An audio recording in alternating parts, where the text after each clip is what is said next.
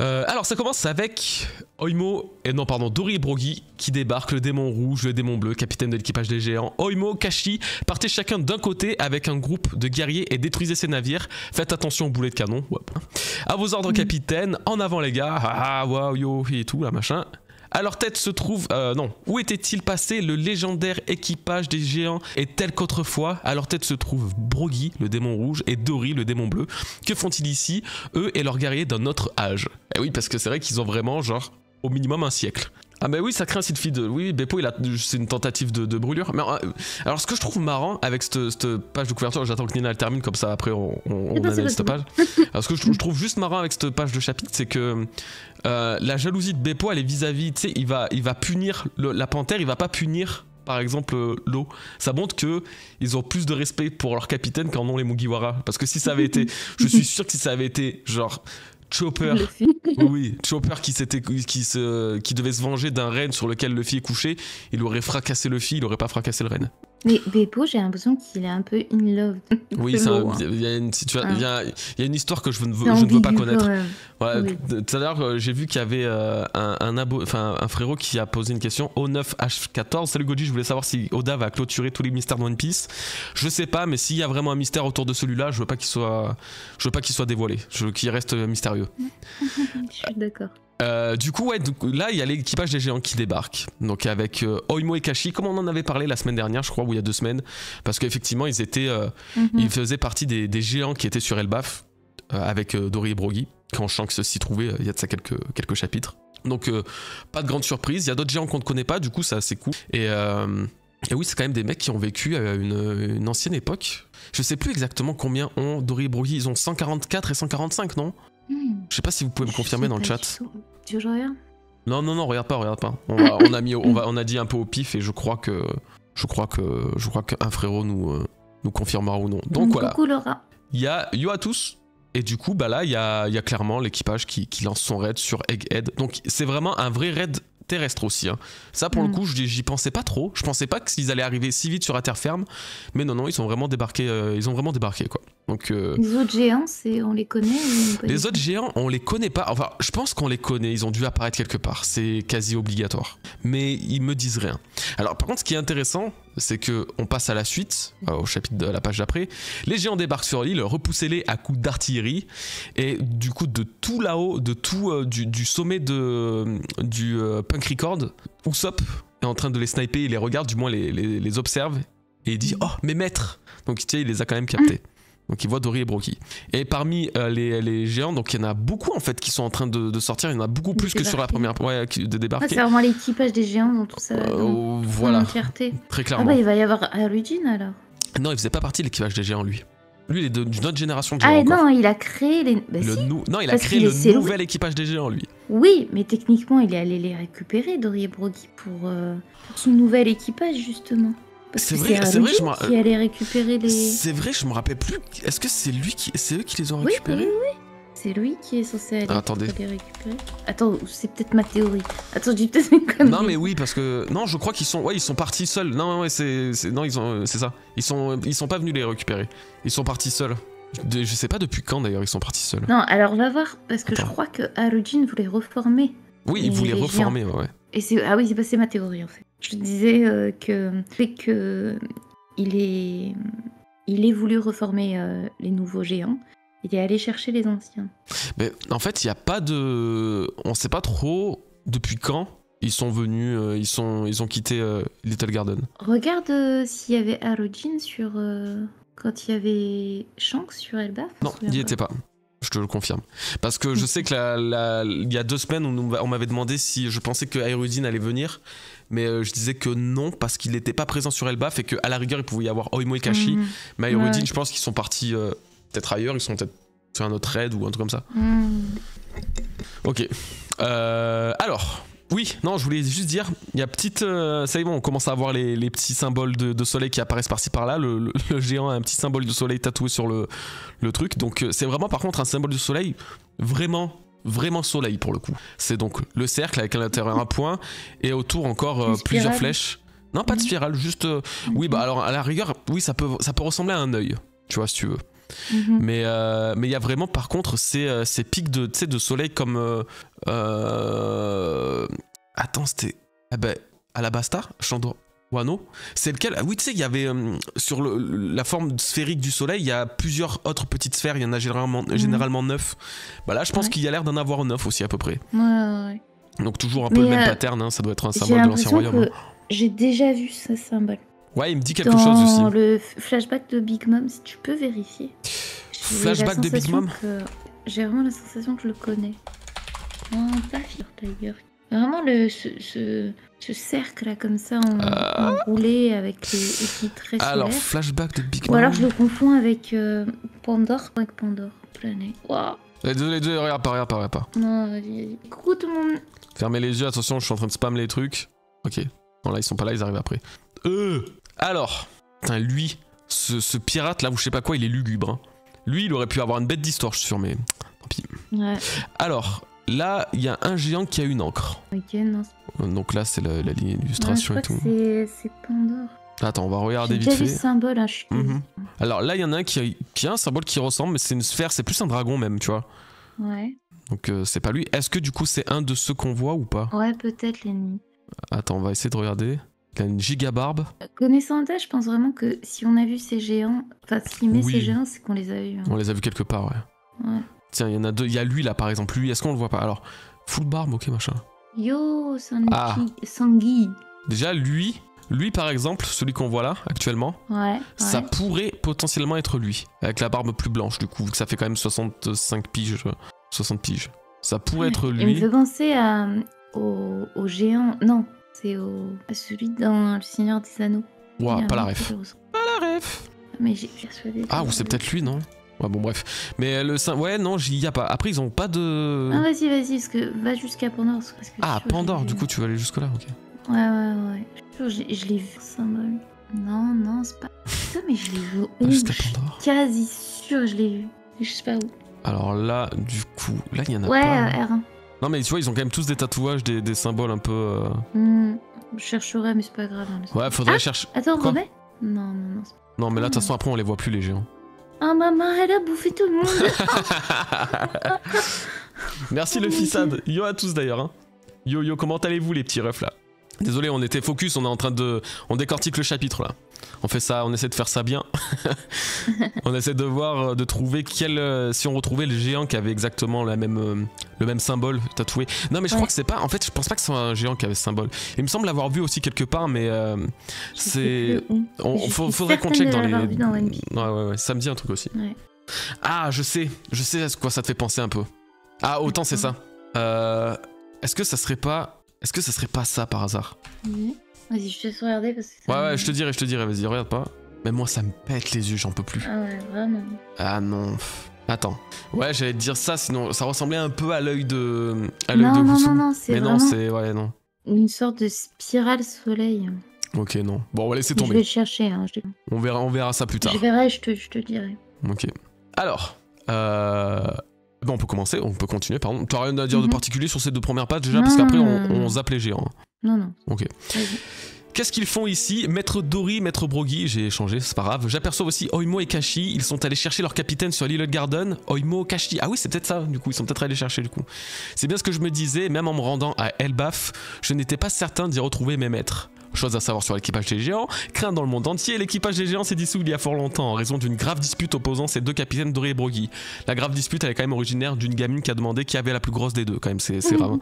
S'en est suivi un combat de 100 ans au cours duquel ils ont reçu la visite de Luffy et ses camarades, euh, camarades pardon, lesquels ont également sympathisé avec Oimo et Kashi sur l'île où ces derniers ont été envoyés alors qu'ils cherchaient à savoir où en était le duel entre leurs deux chefs. Ils sont clairement en train d'attaquer la marine, j'ignorais que vous vous connaissiez. Ils ont dû apprendre ce qui se passait ici, c'est pour ça qu'ils sont venus. Hein? Mais comment? Bah, Cet assaut implique directement le gouvernement. Il suffit d'une nuit pour en faire les gros titres.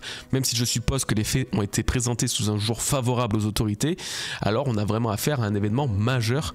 D'un autre côté, ce n'est pas surprenant. Ils ne sont pas venus faire la guerre, leur objectif est de nous aider à filer d'ici.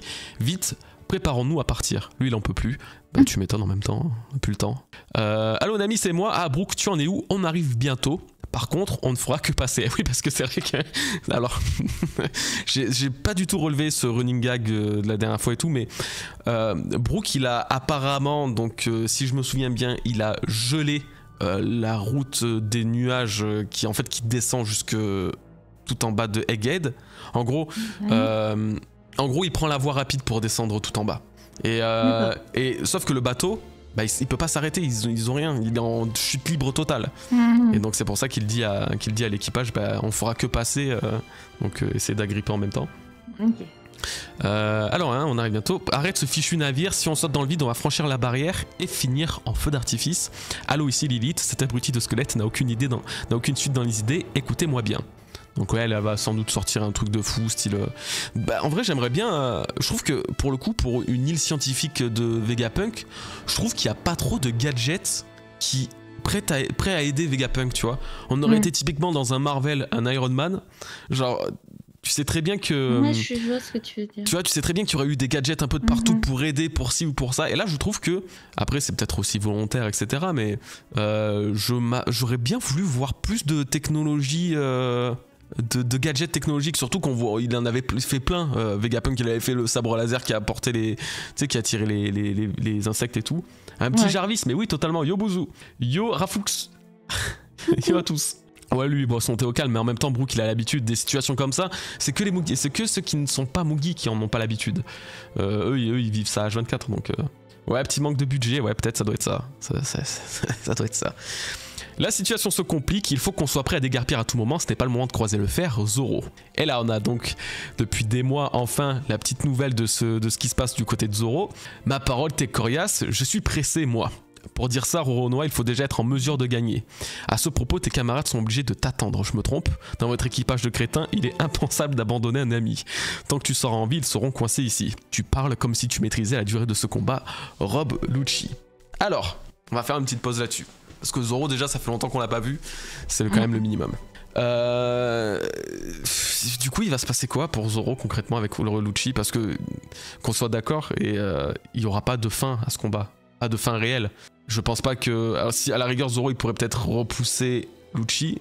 C'est, je pense, à la rigueur, le, le scénario un peu un peu facile, favorable. Il le repousse. Je sais pas, il utilise une Oui, là, c'est pour faire gagner du temps et. Euh, en fait, ce combat, on peut même pas combat. Non, c'est un, un, échange d'attente. Ouais, c'est ça. pour, euh, pour faire patienter. Euh, comme, en fait, comme la plupart des combats euh, qui font les Mugiwara mhm. dans, dans, ce genre de Ah oui, oui, totalement. Là, on n'est pas sur un arc habituel. Voilà, on n'est pas sur un arc où il faut défaire un tel pour, avancer, libérer un pays. Pour si, voilà, c'est ça. pas du tout le but. Là, c'est le. C'est un peu comme ce qui s'est passé à. Euh, faut se barrer et faut sortir le plus vite possible. C'est ça. Et encore. Oui, oui, c'est ça. Donc là, vraiment, euh, il n'a pas son bandana, c'est pas un fact sérieux. Bah, déjà, en soi, oui. Après, le bandana, il peut toujours le mettre après. Mais euh, comme il dit, euh, comme le dit Zoro de à la fin, c'est une histoire de maîtriser la durée de ce combat. Parce que très clairement, dans les questions que j'avais eues pour la review, il y avait du coup un, poteau qui s'étonnait que Zoro ne parvienne pas à, vaincre Lucci plus facilement que ça. Il n'y a ah. pas d'utilité pour le vaincre. Oui, et puis même en fait c'est Lucci aussi, tu vois, c'est pas, c'est pas. oui, certes, mais ce que je veux dire par là, c'est faut pas oublier aucune utilité que Zoro dépense, c'est toute son énergie mhm. face à Lucci. Euh, là, à cette heure-ci, il est pas en danger euh, mortel contre, euh, contre, je sais pas comment vous dites. Mais en clair, l'enjeu actuel, c'est un, un, timer, c'est un chrono en fait. Voilà, c'est pas. C'est de se barrer, de combattre. Et, euh, et, du coup, son objectif principal à Zoro n'est pas celui-là. Donc il y a aucune raison qu'ils combattent euh, à, fond. Après, Lucci, euh, c'est pas non plus une merde, hein, faut pas oublier euh, mhm. qui c'est. Malheureusement, je reste toujours du même avis que Oda déteste la marine. Ça se voit, ça se sent.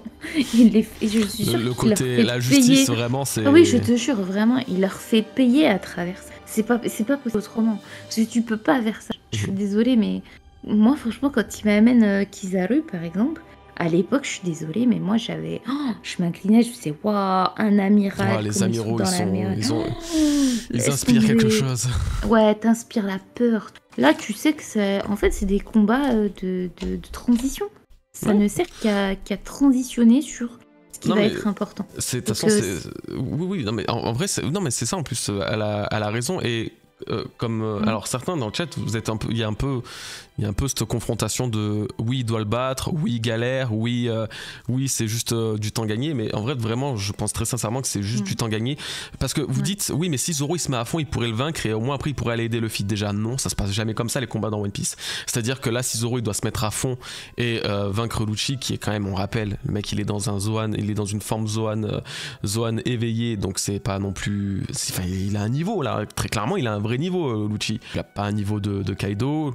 Je pourrais je vais pas te le comparer avec un King j'en sais rien du tout ça m'intéresse pas de, le- de- de les hiérarchiser à ce point mais dans tous les cas il a un niveau ça se voit donc qu'il soit Mm. plus ou moins fort que Zoro plus ou moins fort que King dans tous les cas si Zoro il doit le vaincre c'est obligé qu'il en laissera des, il laissera des plumes. C'est, c'est-à-dire que ne- ne- on prend le combat de, de- contre King. En vrai, il a pas duré si longtemps que ça. Il a été assez rapide comme combat. Ah. Pourtant, quand tu vois ce que Zoro, comment Zoro il était, bah déjà il avait, le- il avait le, tu sais, il avait le, il en a chié de fou. oui, il en a chié, mais il avait aussi ce truc à côté de, du, tu sais, du, du médicament là, avec les contre-coups Mm. de fou. Mmh, mmh. Donc euh, c'était une façon un peu de le brider. Mais euh, là, sinon, en vrai, c'est, il peut pas se mettre à fond. S'il se met à fond, ça veut dire qu'il aura même plus de puissance après oui, ou plus d'énergie pour partir, tu vois. Du coup, après, il va, falloir, exactement ça. il va falloir aller aider Zoro pour se barrer. Alors que non, tu vois. Ou à la rigueur, vu que Jinbei va chercher Zoro, à la rigueur, il y a un scénario et un, un monde où ça existe, où Zoro se met à tout lâcher pour, pour fumer euh, Lucci. Ok. Il le vaincrait de toute façon parce que Zoro vaincrait Lucci. C'est comme ça. C'est un Mugi, c'est un, pro, Mm. c'est un prota. c'est- Puis même Zoro, il a quand même un sacré niveau maintenant. Donc il n'y aurait, pas de- il y aurait, il y aurait pas de surprise à ce qu'il ce qu'il batte euh, Lucci. Mais par contre, après, c'est euh, Jinbei qui devra, qui devra aller le, les récupérer. Donc, peut-être que en voyant de l'aide arriver, Zoro pourrait décider de fumer, fumer euh, Lucci, à la rigueur, vas-y, et ainsi euh, se laisser. Mais même, ça reste quand même. Je trouve que ça serait un peu. euh, je sais pas, venant de sa part, il est beaucoup plus réfléchi. Là, il gagne du temps. C'est pas, c'est pas Lucci qui gagne le temps. C'est là, il essaye justement d'éviter que son capitaine, il se tape à la fois un mec du Gorosei et, un- et amiral. C'est juste pour faire gagner du temps à, à Luffy. Et, et eux leur faire perdre du temps en face. C'est tout. C'est, il ne sert qu'à ça en fait. C'est juste le, la, la transition. Mhm. Et après, je trouve que oui, beaucoup sous-estiment euh, les antagonistes. Euh, parce après, c'est normal, hein, Oda vraiment. joue Ouais, beaucoup ouais, de ouais, ça, on va pas se mentir. hein. Euh, mais je suis désolée, dans, dans une évolution, euh, l'évolution ne peut pas être que du côté euh, des protagonistes. C'est quelque Mhm. chose que moi, personnellement, j'apprécie pas. Euh, si je prends l'exemple, c'est des antagonistes euh, euh, Kid et Lo, pourtant ils ont évolué. Les Mhm. Mugiwara ont évolué. Tout le monde évolue. Mais quand il s'agit du côté de la marine, tout le monde va prendre l'argument de dire Oui, mais attends, ça c'était avant qu'ils étaient forts. Donc, Quel honneur Pourquoi Non, au Ils contraire, ils doivent, ils doivent continuer d'être forts. En ils doivent, ils Voilà, c'est ça. Il y a une évolution de, de toutes parts en fait. Hmm. C'est- C'est là la logique de la Non mais finalement on l'a bien Et- vu avec le CP0. Tu vois ils ont ils ont évolué Kaku et Lucci, ils ont ils ont développé débloqué la nouvelle forme de leur zone, Mhm. tu vois. Ils ont tous les deux Oui, éveillé leurs fruits. Donc c'est bien quand même qu'il y a une, une- un désir de, de, de montrer que s'ils sont pas au niveau Oui, ultime, ils ont quand même ils ont quand même un truc, tu vois. Oui, et puis surtout, j'aime l'idée euh, de voir ce, ce côté Luchizoro, parce qu'il faut pas oublier que À l'époque. celui qui a vaincu à Mhm. l'époque Lucci, on parle bien de son capitaine. Mhm. Et ça, c'est important. Parce que ça veut dire que, que Lucci n'était pas assez fort à l'époque pour vaincre euh, Luffy, vu que c'est de toute façon c'est le héros. Qu'est-ce que tu veux faire? Face au héros, tu fermes ta De- de- gueule. De toute façon, oui. Pardon. Et du coup, de voir qu'aujourd'hui il affronte euh, Zoro, je trouve ça intéressant parce que même si ça le rétrograde par rapport à, à Luffy, bah peut-être que c'est son grade d'aujourd'hui et Mhm. qu'il doit affronter. Sur, il y a pas, il y a quasi pas de doute que Zoro peut vaincre euh, Lucci, c'est quasi évident. Bah oui, de Mais toute c'est façon, pas euh, le- il affronterait, il, battrait de toute façon tous les, tous, oui, les, tous les antagonistes que le Luffy a affrontés En en, fait- tant que capitaine avant. Oui, il n'y a euh, pas de débat là-dessus dès lors où c'est les où c'est les Mugiwara. Mhm. Voilà, pour moi les Mugiwara on peut pas discuter. C'est les héros, ne cherchez pas à midi 14h, rapport de force, puissance, de je sais pas quoi. Ça sert à rien, c'est les Mugiwara. Si demain euh, Oda veut faire gagner euh, Zoro, il le fera gagner. Si demain il veut faire gagner Lucci, il le fera gagner. Du moment que ça reste cohérent dans son scénario, c'est tout ce qui importe. Et c'est pour ça que là, pour moi, c'est juste un combat de transition. Et euh, C'est vraiment pour les occuper les dit, deux, parce que- pour les occuper. Parce que de toute façon, même en fait, au-delà du euh, Lucci qui pourrait être emmerdant s'il se retrouvait face à, à Luffy et Bonnie avec Mm. Kizaru et Saturne, parce que pour le coup ce serait vraiment emmerdant. euh, Il y a aussi le truc de si Zoro se retrouvait avec, avec Luffy contre Kizaru et Saturne, bah du coup il y aurait encore moins de suspense parce qu'on sait très bien que mm. il y aurait, enfin déjà le fil actuellement, comme on l'a vu et comme on le verra plus tard face à Saturne, il a réussi à le dégager, il a réussi, a réussi à même à, encaisser ses attaques donc tranquille. Et côté euh, bah, Kizaru, c'est un peu compliqué pour lui en vrai. Hein. Tout, tout l'arc Egghead là, ça a été euh, de, tout son combat contre contre Luffy, ça a été euh, ça a été des, des, one shots quoi. Donc dans le mm. sens où, quand je parle de one shot, bien sûr, je dis pas qu'il a vaincu en un coup, mais qu'il a montré, euh, Luffy a montré une supériorité face à Kizaru. Elle était évidente. Mm. Donc, euh, c'est normal. De toute façon, euh, Luffy n'a pas pu vaincre Kaido pour maintenant plier le genou face à, face à Kizaru. Donc, ouais, là vraiment, ce combat, c'est pas, faut pas avoir la frustration de quoi que ce soit. C'est Oda qui décide de, de, de, mettre deux de ces personnages là et de les bloquer, et puis voilà. Ouais, bah, Cambras, il a dit exactement la phrase exact. Et je suis parfaitement d'accord avec Stanley. Pour... Mais pour... c'est exactement ça. Si un auteur veut veut, tu... enfin, veut tuer ou vaincre un mhm. tel ou un tel, c'est pas le débat des, des, gens qui le lisent, c'est le débat de l'auteur. Point. S'il veut faire quelque chose, il le fait. Demain même, il veut tuer le fils, je vous jure qu'il peut le faire. C'est mhm. son œuvre, il ah en fait ce qu'il veut. Hein. Du moment là, on bah, peut, comme, de façon, T'as l'exemple de Kaido contre Luffy. Kaido a tué Luffy. Mais le fil est quand même revenu. voilà. Donc en vrai, c'est aussi simple que ça. Et la seule chose où vous pouvez, entre guillemets, vous plaindre et râler pendant trois heures, même si ça changera rien pour le coup. C'est les choix Mais c'est le fait, c'est sur l'incohérence. C'est pas cohérent, je peux vous accorder que c'est énervant. Mais sur le reste, malheureusement, personne ne peut dire ouais, il n'y a pas de logique à ce que si ou ce que ça, parce qu'en fait, la logique c'est Oda qui l'a. Oui, elle s'applique pas en fait. C'est pas la logique, c'est pas notre logique qui s'applique très clairement. Euh, Est-ce que normalement Luffy aurait dû gagner euh, contre, euh, contre un Kaido, sachant qu'il s'est fait one shot bah, Logiquement non. Parce que la preuve, dès lors où Luffy a KO Kaido, il l'a laissé KO, tu vois. Mhm. Il n'est pas revenu dessus. Et, et, pourtant, Luffy le fait revenir, revenir, revenir. Donc là, normalement, Kaido devrait se relever et revenir, revenir, revenir, revenir jusqu'à qu'il regagne. Enfin, c'est interminable. Donc c'est la manière d'un fait Oda dans son œuvre. Et, euh, et, moi, avec le temps, je l'ai compris et je cherche plus à comprendre. Ouais, ouais, mais à partir du moment où déjà tu penses que les, les, les, héros ont un avantage considérable sur les ennemis. Euh, mm. euh, donc ouais, faut, faut juste pas, faut juste pas, non, faut pas se prendre la tête. Et là, faut pas y voir. Et puis là, même, même vraiment au-delà de toute incohérence ou quoi, je trouve mm. pas le, le, la partie là vraiment incohérente, le contre, enfin Zoro contre Lucci. moi, je trouve que là, pour l'instant, ça, il montre rien de particulier. Justement, il montre que les deux galèrent. Et, mm-hmm. et, voilà quoi. Donc Ouais, j'aime, j'aime au contraire de voir euh, euh, quand même Zoro souffler, parce qu'il n'est pas non plus. Euh, je veux dire, tu vois ses gouttes de sueur. Hein, ouais, bah, les, deux, les deux, ils ont l'air d'être plutôt équivalents en termes de dégâts subis. Tu remarques au, au souffle. L'autre il est en. L'autre il est en. c'est vrai, ça. Sauf que certains diront ouais, mais Zoro il en a un, Lucci il en a deux, tu vois, ça peut jouer. Non, mais alors, franchement, si on part de ce principe, Zoro il a quand même fait plus de dégâts à Lucci que l'inverse parce que Lucci ça reste un Zoan. Les Zoan mhm. davantage éveillés, ils ont une meilleure régénération, une meilleure résistance. Mhm. Zoro lui, il a des couteaux. Donc euh, bon, à partir de ce moment, donc voilà, on va pouvoir passer à la suite, mais c'est vraiment, euh, c'est vraiment, en fait, je sais que, je sais qu'il y a vraiment une partie, euh, il y a une partie de la communauté One Piece qui, je trouve, avec le temps, s'est vraiment détaché de, de, mhm. de, des théories qu'elle kiffait pour, tu sais, partir sur le, débat des puissances et tout. Et moi, ça, enfin, même si je, je vous ai pas suivi là-dedans, je le comprends totalement parce que c'est, c'est, ça fait partie de toute œuvre, toute mhm. œuvre qui a des rapports de puissance et c'est normal, les auteurs en sont bien conscients et tout. Mais, mais c'est très rare, hein, je vous assure, dans les mangas que les rapports de force soient respecter. Hein. Ouais, soit, soit normaux ou quoi que ce soit. C'est assez rare. Euh, hmm. C'est plus rare que, que, normal, on va dire. Il y a beaucoup de. Dans tout, presque toutes les œuvres que j'ai pu lire, les débats de rapports de force, de savoir pourquoi l'autre il l'a vaincu. normalement, c'est pas, c'est pas ça qui aurait dû se produire, c'est pas normal sur 6, c'est impossible, t'as vu le truc. Et là, on compare, on fait des. Mais ça sert à rien. Mhm. Vraiment, euh, c'est l'auteur. Faut pas chercher plus. C'est ça pour ça que pour le coup, euh, non, j'aime j'aime euh, j'aime le fait quand même qu'il ait respecté un peu plus Lucci, à comparer de, de certains marines, tu vois, qu'il y a zéro respect. Ils ouais, se faire foutre, vraiment. Ah bah ça, il y en a. de toute façon, je crois que toute la marine a, subi le truc un peu. Hein. Et ah je, suis pour le coup, je suis vraiment content que. Merci Barbussa, yo, mon ref, comment vas-tu? Coucou. Comment ah, vas-tu? il a pris un abonnement, son dixième mois. Oui, oh là là, putain, 10 mois. Même pas putain, mais... depuis 10 mois, mec. Putain, franchement. Bon, souvent on vous prépare des trucs avec Barbu. Hein. Si je dois partir, pas. Nina, elle aime trop la musique quand elle est sur le live. Elle aime trop chanter. Je vous jure, il y a un truc que je vais faire, je sais pas si vous. Mais genre, t'entends un mot et ça te donne le mot clé pour chanter la chanson. Genre, euh, euh, non mais euh, c'est pas les démons de minuit.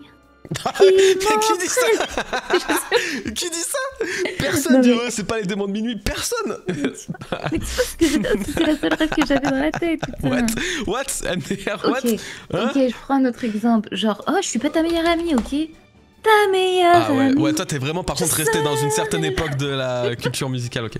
Non mais tu vois ce que je veux dire Vous faites jamais ça, genre Comment je ça vous donne un mot là et vous faites une chanson Attends, mais comment Non ça tu... Comment? Non, mais moi là, c'est, là c'est plus mon problème. Je vois que Barbu il a écrit qu'il allait ouvrir des boosters dans 5 minutes. Pourquoi Ouais, on n'ouvre pas des boosters nous? Ah, quoique peut-être Soon Mais non, je suis pas vieille. Moi, Peut-être. depuis que je suis gosse, depuis que je suis née limite, ma mère, elle n'écoutait que des chansons. Merci Potatoes Ma mère, c'était un jukebox. Et c'est le train de la Voilà. qui arrive. Non, il Ouais, pas. j'adore. Ah. Mais moi, j'ai trop de rêves. Et j'ai des, des rêves euh, des années 60, 70, 80. Pourtant, euh, tout ça, je suis pas née. Hein. Mais euh, je, j'ai trop de culture musicale par rapport à ma famille. Et ils m'ont, ils m'ont boosté le cerveau. Les Elvis Presley, ouh là là, j'en ai bouffé. Et voilà. Hmm. Les Barry White, les George Michael, les Ray Mm. Charles, oh Ray, Stevie Wonder. Bref. Ouais, c'est oui, c'est plus Neptune à la rigueur. Excuse-moi, j'étais totalement dans un Alors en fait, je t'ai trouvé la ref. Ouais, c'est plus euh, Neptune. c'est dans mes notes. Il y, a- il y a un truc quand Et personne la connaît. Je pense pas que les gens la connaissent. Va dans Général, je te les pose. Ah, ok. C'est sur le funky, funky style. Regarde. Ah ouais, oui. Oui, il me semblait que je l'avais vu aussi. Ah, mais non, je peux pas. Vas-y. Attendez les refs. Et bonne ouverture du coup, Barbu, hein. Voilà. Profite bien. Et tu regardes la Voilà. meuf. Tu vois son tatouage. Ouais, ouais, c'est Voilà. ça. Ouais, ça y C'est ressemble. ça ouais. que ça me rappelait. Ouais, ouais, c'est ça, c'est le même principe. Et là, du coup, je me suis dit, c'est marrant. Ça, me- ça me rappelle exactement ça. Ouais, ouais, c'est ça. Après, je vois pas bien le tatou du mec. Non, mais oui, bah, de toute ça façon, ouais, c'est ça, ouais. Et merci Antoara pour avoir fait un sub à Jérémy. Let's go, bienvenue à vous, bienvenue à toi, Et bienvenue à tous. Ok, allez, on continue. Oh, C'était un peu fort là quand même. Hein. Faut que je règle les sons. hein. Bon, c'est pas grave. Ok, allez, quel, état, quel est l'état de notre flotte? L'ennemi a coulé une trentaine de nos navires de petite et moyenne taille. Les dégâts ne cessent de s'accroître. Envoyez nos vaisseaux de guerre en première ligne et faites reculer les autres. Autrement, on ne s'en sortira pas. À vos ordres, vice-amiral Red King. Quelle tristesse. Donc, euh... ouais, c'est bien, bien qu'on voit un peu le côté stratégique aussi du. euh, de la marine. Moi j'aime bien ça, tu vois, ce- Mhm. ce, passage. C'est des passages cons, mais Ouais. on en a pas assez, je trouve. Mhm. Quelle tristesse de devoir attaquer nos propres armes. Ils défoncent donc un pacifista qui ne résiste donc pas à un boulet de canon, donc ils ont quand même une certaine faiblesse. Alors, Bonnie, tu pleures? Et là, on a notre petit Nika, sa tête de fou. Là, on a retrouvé sa tête de mon fou du chapitre 1044. Là, là c'est. Là, tu sais, il me fait penser à ta ref si sauvage. Ouais, ouais, au Kurupira. Ah là, Ah, vraiment, vraiment. Ouais. Ah, c'est le même, là, vraiment. Alors, tu pleures? Évidemment que je pleure, idiot. Depuis le temps que je te cherchais. On est resté ensemble Depuis tout du long pourtant. Oui, mais je ne savais pas que tu étais Nika. Nika De quoi tu parles? Au fait, je t'ai vu quand tu as donné ton coup de poing de ton coup de poing tour à mollo. Je voulais qu'il soit élastique comme les tiens. Montre-moi l'exemple au lieu de te moquer. Là, c'est trop mignon parce C'est que marrant, ça, ce qu'il dit. Wesh Arrêtez Donnez pas de sub par pitié, il y a trop de Merci, son. merci, merci, merci, merci. C'est le train de la hip. Je le fais trop mal parce que je peux pas gueuler, mais Mais je vais c'est- m'enregistrer en jingle. Surtout que c'est pas ça le problème, c'est qu'il y, a- s'il y a trop de son. Comment on fait? Je sais pas, je sais pas où est le truc pour régler. La source. Ouais, ouais, ouais, ouais, ouais. Non mais. Attends, waouh, Ouais, ouais, s'il ouais. vous plaît, pitié. Nina, tu as une bofadité, il je- faut se reposer. Il faut se reposer, en effet. Mais je ne peux pas, je suis en live avec vous. Mais euh, parce on que va- je me et on va pas- tôt maintenant. et on à va pas- 21h, je suis couchée normalement. On va pas tarder justement, on C'est essaie. vraiment une vie de vieille. Ouais, c'est vrai, t'as la vie de petite, euh, petite mamie. c'est. Non, non, mais là justement, on va on essaie de passer un peu la. Mais Nina, elle, on m'entend pas en fait. Je parle, elle, elle Pardon, parle par-dessus. Oui, Oh c'est le pitié. track de la hip, il a mis Oui, le, oui, mais le bon. gif et il m'a Du coup, on disait, on va essayer de rush un peu parce qu'on veut pas non plus euh, finir le live trop tard. Voilà. Oui. Et pitié, pitié, arrêtez de donner des subs, ça fait trop de bruit, je sais pas comment le régler. Ouais. On. Allez. Ouais. Alors, on est resté tout du long. hein, hein. Je voulais qu'il soit élastique comme les tiens. Montre-moi l'exemple au lieu de te moquer. Explose ce type, venge Vegapunk et fais-nous partir de l'île. Hein Attends, attends, attends, attends, je te coupe. La scène, elle te fait pas penser à Chance? Attends, il y avait une scène où je, je sais. Il disait euh, ton. Non, Steak Ace Tu sais, quand il était petit, il voulait mettre un coup de poing. Il lui a dit c'est tout raplapla, tout ramolos. Oui, c'est quand le fil utilisait son Gomu Gomu no Mi pour la première fois. Enfin, ça, il essayait de l'entraîner pour faire le pistol. Oui, là. oui, c'est ça. Et ouais, du coup, il- voilà. il, il- il tapait en fait, et du coup, ça lui revenait dessus. Et, Ouais, bah voilà, c'est ça que ça me, fait, ça me fait penser à Mais- cette scène. Mais là, de toute façon, très clairement, Bonnie, elle a totalement une réaction de- d'enfant, et je trouve ça trop mignon. Parce que c'est vraiment la, tu vois là là elle est plus du tout Mm. dans le dans le l'acting du euh, oui je dois montrer que j'ai euh, Ouais, ouais, 24 piges ou je sais pas quoi non non là elle est devant son idole elle est devant celle qui euh, qu'elle attendait celui qui l'attendait et elle est en mode euh, mais je voulais que mes poings ils soient élastiques comme les tiens montre-moi au lieu de te moquer c'est vraiment l'enfant c'est trop mignon Ouais, c'est ça. Euh, explose ce titre, donc Vegapunk, stupide vermisseau, il y a une raison bien précise pour laquelle vous devez mourir. Non, non, il n'y en a pas. Ok, Bonnie, on fait comme t'as dit. Et retiens bien, comme tu devras désormais t'y prendre, pour balancer des coups de poing. Donc là, il se fait prendre quand même. Luffy prend une attaque euh, psy- psy- psychique de Saturne, tu sais, quand il met son. son Un truc pour annuler son. pas pour annuler son pouvoir, mais pour donner un, un coup, je sais pas comment on appelle ça, euh, son choc, mental, tu sais. De... Ouais, voilà. Ah, le- oui.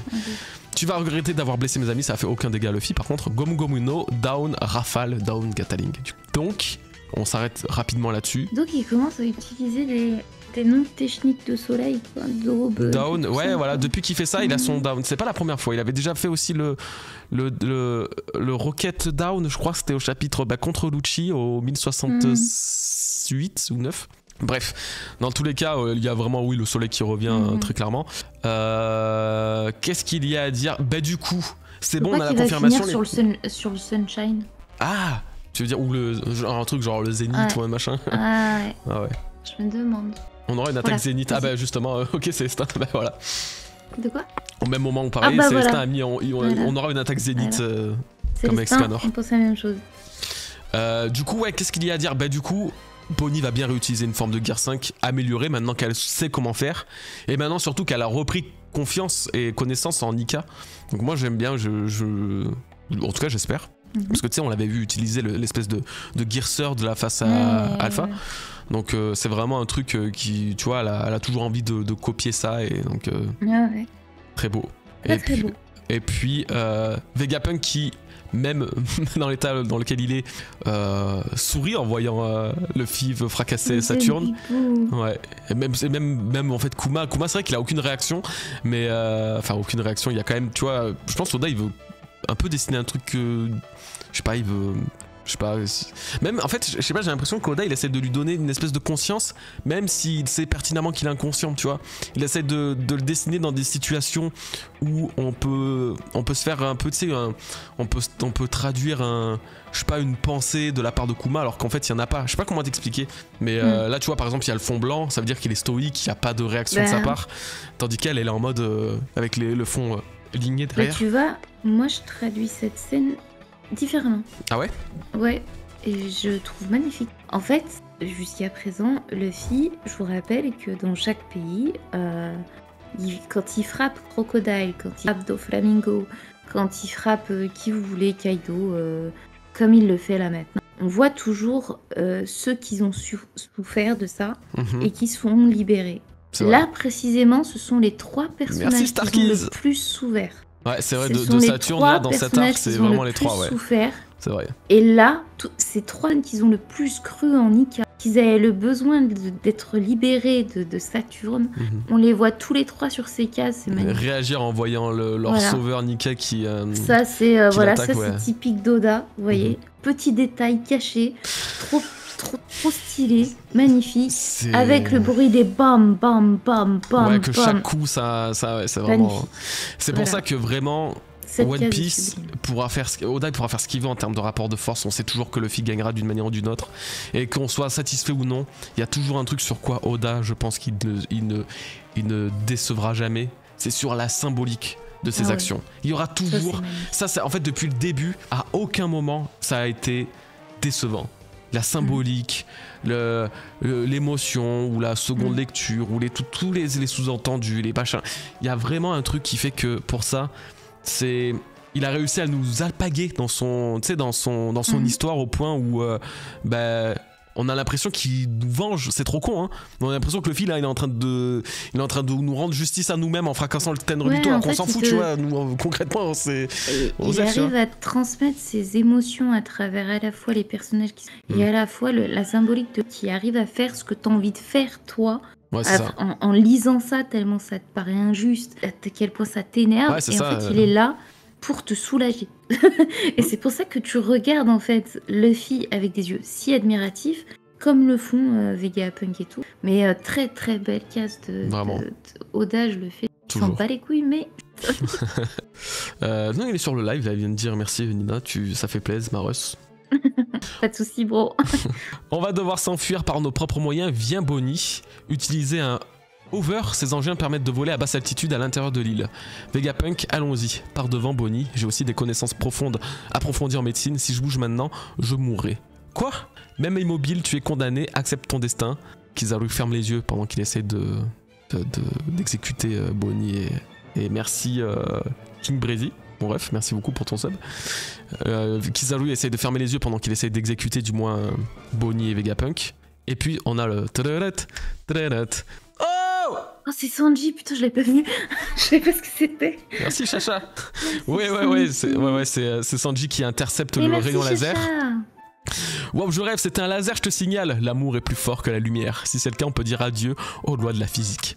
Donc oui, notre euh, Sanji qui, Non, en plus, a changé son petit euh, sourcil. sourcil. Voilà, donc là, il est dans son mode... euh, bah, dans son, on appelle ça un mode, on, a- ouais, on appelle ça le mode ifrit en gros, mais, euh, mais ouais, la tête, euh, Kizaru, il a vraiment fait une tête à la NR un peu, très très Ah, stylé, très marrant. c'est- vraiment à étudier. Vraiment, vraiment, vraiment. La capacité particulière de Sanji comme ça. Ouais, Sanji, c'est quelque chose hein, là. hein. Sanji, je vous assure, on, on connaît pas encore tout son passif. C'est ça le pire, c'est que avec, avec tout ce qu'on a eu sur hein. euh, Onigashima, on- là on n'a pas tout. Ouais, Là, il y a vraiment un gros mystère encore là-dessus.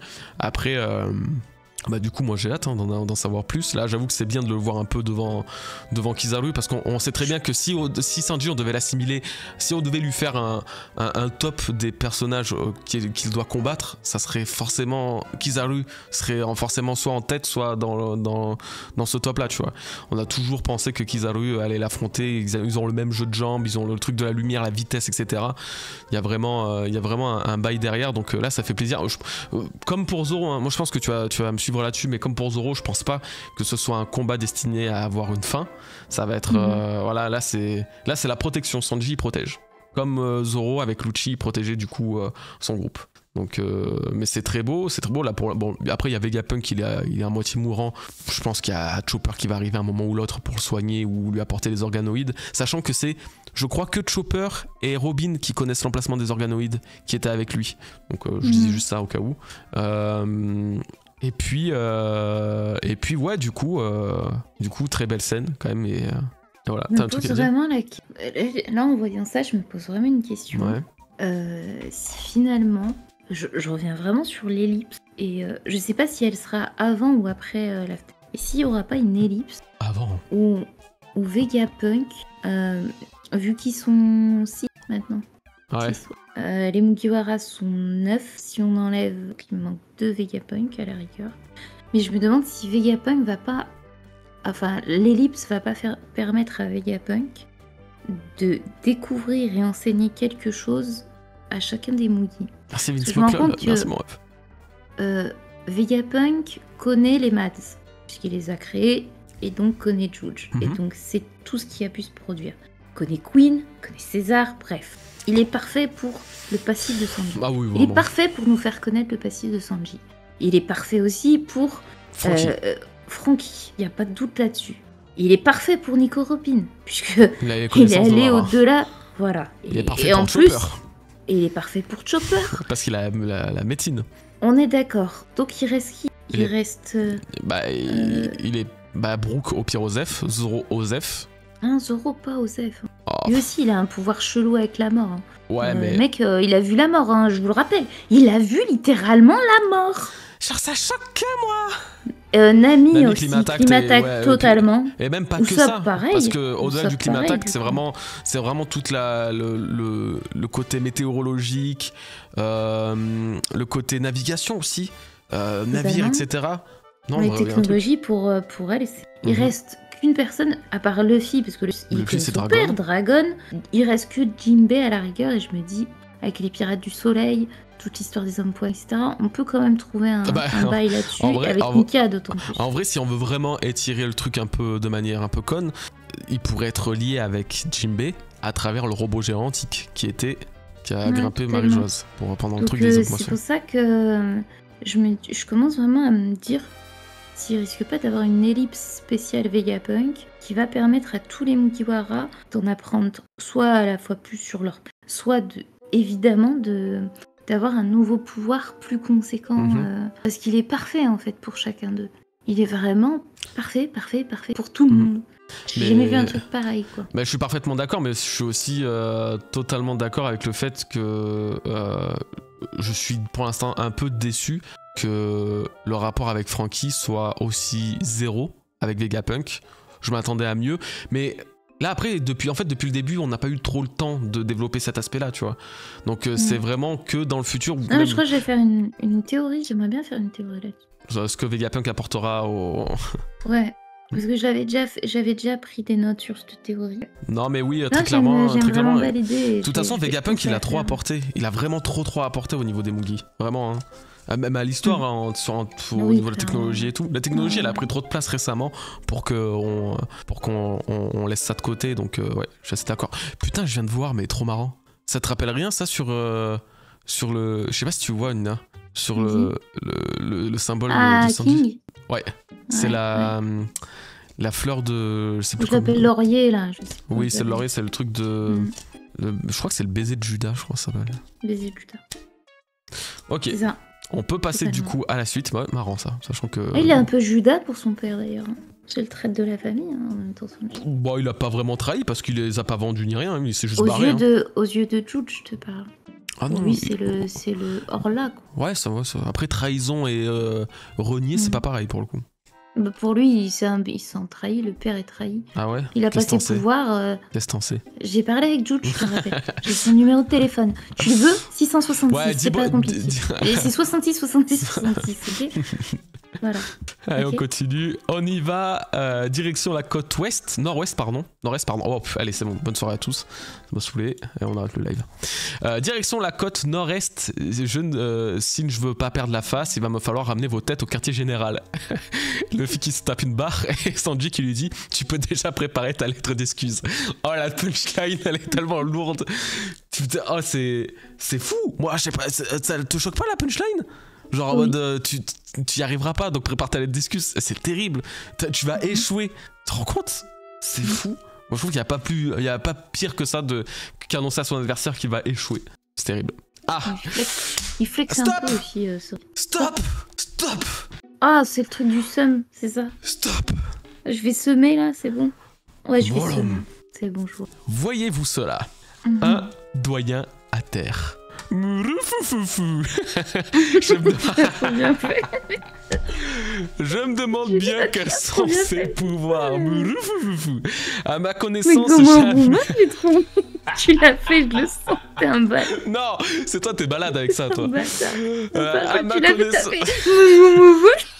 Là, c'est- horrible, Mais pas du tout, pas du tout. Si. Non, c'est c'est- c'est- c'est-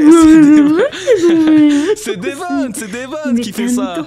Bâtard. C'est Devon, bref. À ma connaissance, jamais un doyen ne s'était rendu en personne dans le monde d'en bas. Enfin bon, ça nous arrange, et voilà, mission accomplie. Oh là là, que faites-vous ici? Van Augur, commandant du troisième navire de l'équipage de Barbe Noire, fruit de la téléportation, et Katharina Devon, commandante du sixième navire de l'équipage de Barbe Noire, fruit du canidé de type zone mythique, version renard à 9 cœurs. Katharina Devon, je ne, te- je ne pensais pas que les redoutables détenus du sixième cercle se soumettraient un jour à une quelconque autorité. Teach est un cas spécial. Oui, de même que son sang. Ah, oh, ça y est, c'est encore différent que la, la trad normale. Pouf Enfin, la bloodline, son sang, ouais, ouais. Oh, tu avais remarqué Qu'avez-vous en ligne de mire, vous qui multipliez les actions suspectes? Le monde, c'est Karino. Ça me rappelle un peu le rêve de quelqu'un. Moi, Doudou C'est qui? C'est pas... Mais ne ce serait pas un, un- un autre dit et qui s'appelle Euh, appelle Chebak. Rokodi Chebak Rokusu Rokusu. Et donc, du coup, en vrai, ce qu'on peut faire, c'est qu'on peut terminer le chapitre parce que c'est la même suite. c'est la suite du moins. Mhm. Euh, sur ce, rentrons. On est toujours sur l'île. Tu ne peux pas nous téléporter un peu plus loin. J'ai besoin encore d'entraînement. J'ai encore besoin d'entraînement. Attendez, attendez s'il vous plaît Ça alors, si on m'avait dit que je vous croiserais ici, Van Augure, le supersonique, Katharina Devon, la boucanière du croissant de lune. Mon nom est Caribou. Je suis pirate, cela fait si longtemps que je vous cherche. Si j'ai pris la mer, Ah c'est par admiration pour mon idole. Mon rêve est de servir le seigneur Teach, alias Barbe Noire. Je vous en supplie. un gros Permettez que je le rencontre ne serait-ce que brièvement. Oh. Moi vraiment je suis trop heureux quand c'est Barbe Noire. Quand c'est l'équipage de Barbe Noire, quand c'est le truc de passer. Je suis encore choquée de Caribou, faut que je m'en remette. Car, car- car- caribou fanboy, Caribou euh, Bartholoméo. Attends, on va commencer par le début. On va faire deux sujets. Sujet Katharina Devon sur Egghead, du coup, enfin le truc de, de- de leur mission accomplie. Et on va faire le sujet, euh, le sujet, euh, le sujet euh, caribou. Mais après, en fait, le sujet caribou concrètement, on peut le faire maintenant. Bah oui, parce que là, il y a un sujet caribou.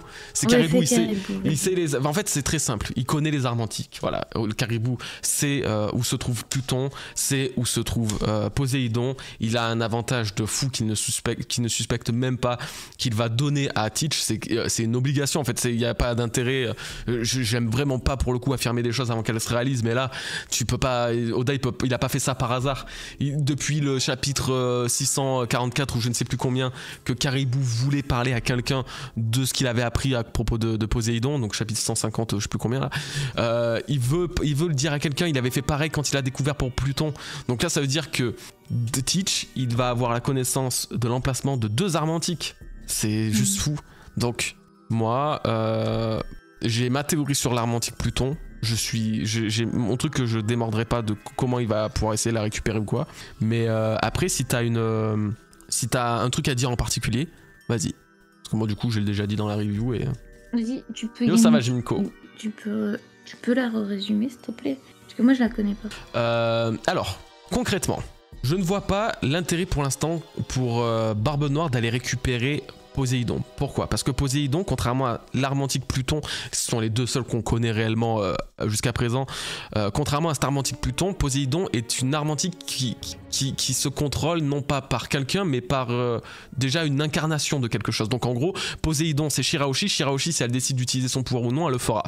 On sait que Shiraoshi déjà maintenant elle est sous la protection, la, la tutelle j'allais dire, elle est sous le sous le sous l'aile de Luffy. Donc il n'y a aucun intérêt à ce que euh, elle fasse du mal, même si elle est capturée par Barbe Noire. Admettons, pire des scénarios, Barbe Noire va sur l'île des hommes poissons et va capturer Shiraoshi. Quelque chose qui est totalement plausible, hein, je vous rassure.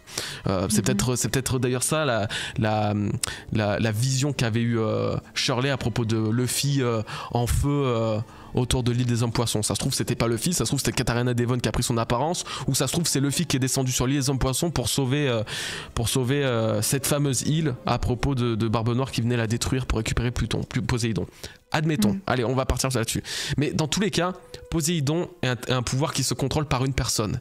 Mais une personne qui est propre, qui est, qui est destinée à, à contrôler ce pouvoir. Tandis que euh, Pluton, c'est vraiment déjà une arme antique qui est bloquée actuellement. Donc il y a, il y a il y a un barrage devant elle, c'est-à-dire c'est Wano Kuni, c'est la frontière de Wano.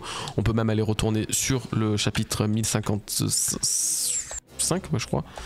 On peut, on peut retourner et voir, vous allez, vous allez comprendre si vous n'avez pas suivi la dernière review.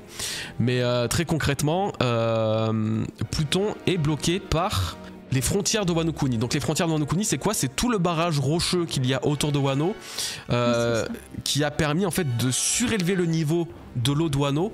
Et donc alors qu'en réalité Wano était... euh, était, euh, était une île normale, avec le temps, avec la pluie, l'accumulation de l'eau, eh ben, ça fait que ça a créé une espèce de, de, de, de, bocal, je sais pas comment on peut dire, ben, ça fait un entonnoir, une cuvette d'eau, et, euh, et, euh, et le vrai Wano, le vrai ancien Wano se trouve sous l'eau. Et c'est là aussi où se trouve Pluton. On sait pas exactement où, mais Pluton, se trouve sous euh, Wano Kuni. Voilà. Donc, moi je me dis, si Barbe Noire n'a pas trop d'intérêt à récupérer Poséidon ou du ne pourra pas l'utiliser, par contre, Pluton, c'est totalement différent. Parce que Pluton, euh, il faut, pour l'avoir, il faut simplement détruire les murs. Il faut l'extraire de son, pays et détruire les murs. Il n'y a rien de plus simple pour un homme qui a le fruit des tremblements, le Guraguranomi. Je vois toujours pas l'intérêt pour Oda d'avoir donné ce fruit du démon si puissant à Barbe Noire, alors qu'à côté, il a le euh, Yami Yaminomi qui est considéré comme littéralement le plus puissant des fruits du démon. Euh, démo de Barbe Noire, tu vois. Donc s'il a récupéré ça, c'est pour ajouter de la puissance supplémentaire, c'est sûr, c'est indéniable, mais c'est aussi pour avoir un impact quelque part, quelque chose dans le monde, tu vois. Un truc plus physique. Donc c'est comme ça que je pense, et dont j'ai l'idée, que Barbe Noire ira sur Wano Kuni à un moment ou l'autre. Je ne sais pas encore quand ni comment. J'ai pas réussi à prédire ça. Je suis désolé, ma boule de cristal à ce moment-là, elle s'est pété. Trop, trop chiant. Mais il, il se rendra sur Wano Kuni pour détruire les frontières de ce pays extraire Pluton et du coup récupérer l'arme des enfers, littéralement, hein. le bateau des enfers, pour, euh, pour ainsi. Euh, bah, je pense, que, je pense que pour contrôler le monde, une arme qui permet de détruire tout pays, toute île, je pense qu'il n'y a pas mieux. Donc voilà, je suis euh, persuadé et surtout que en faisant cette théorie, je me suis rendu compte d'un truc très drôle. Alors moi, c'est que j'aime trop ce genre de symbolique, de parallèle. Peut-être ça, ça n'aura aucun sens, mais ok.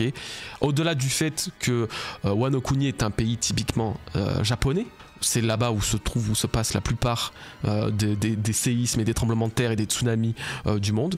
C'est dans cette, région, dans cet archipel et tout. Mais euh, c'est surtout que, en parlant de One Piece, Barbe Noire est le seul des empereurs, passé et futur, passé et présent, pardon, à n'avoir jamais foutu les pieds sur Wano Kuni, de près ou de loin. C'est-à-dire que quand il est arrivé dans l'équipage de Barbe Blanche, Wano Oden était déjà avec eux. Donc c'est-à-dire qu'ils ne mhm. sont pas retournés sur Wano. que ce soit Roger il est où euh, Roger, Baggy et Shanks, ils sont allés au moins soit sur Wano, soit aux alentours. Même on a même vu euh, Shanks et Baggy qui, étaient, qui avaient remonté la, la, la, la, montagne parce qu'en fait ils avaient laissé Oden sur le bord de l'île, tu vois, sur le, bord de. Mhm. Donc mhm. Euh, me demandez pas comment le Oro Jackson a réussi à voler sur une de une de ces, une de ces, de ces cascades, mais tranquille. bref, Baggy, Luffy, Shanks, Big Mom, Kaido, Barbe Blanche. Je trouve ça trop marrant que parmi tous, parmi les plus susceptibles à récupérer Pluton, c'est Barbe Noire qui lui-même bah, n'est pas allé, euh, n'est jamais allé sur Wano. Donc voilà, ce que je veux dire, c'est que en gros, Barbe Noire découvrira l'emplacement de Pluton, Wano Kuni, et ira le chercher. En plus parce que Wano Kuni c'est très proche de la ruche, donc de son, de son QG.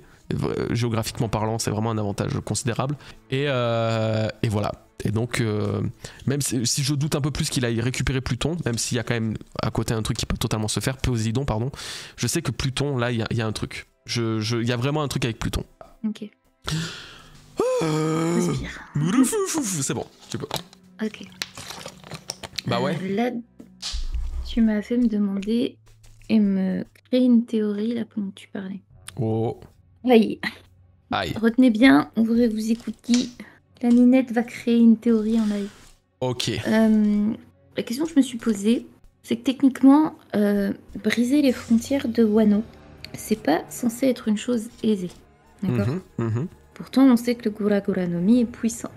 Mhm. Ok. Techniquement, euh, c'est censé être Momonosuke qui, qui devait le faire. Ouais. Possiblement à travers Zunesha. Possiblement avec, la avec Zunesha.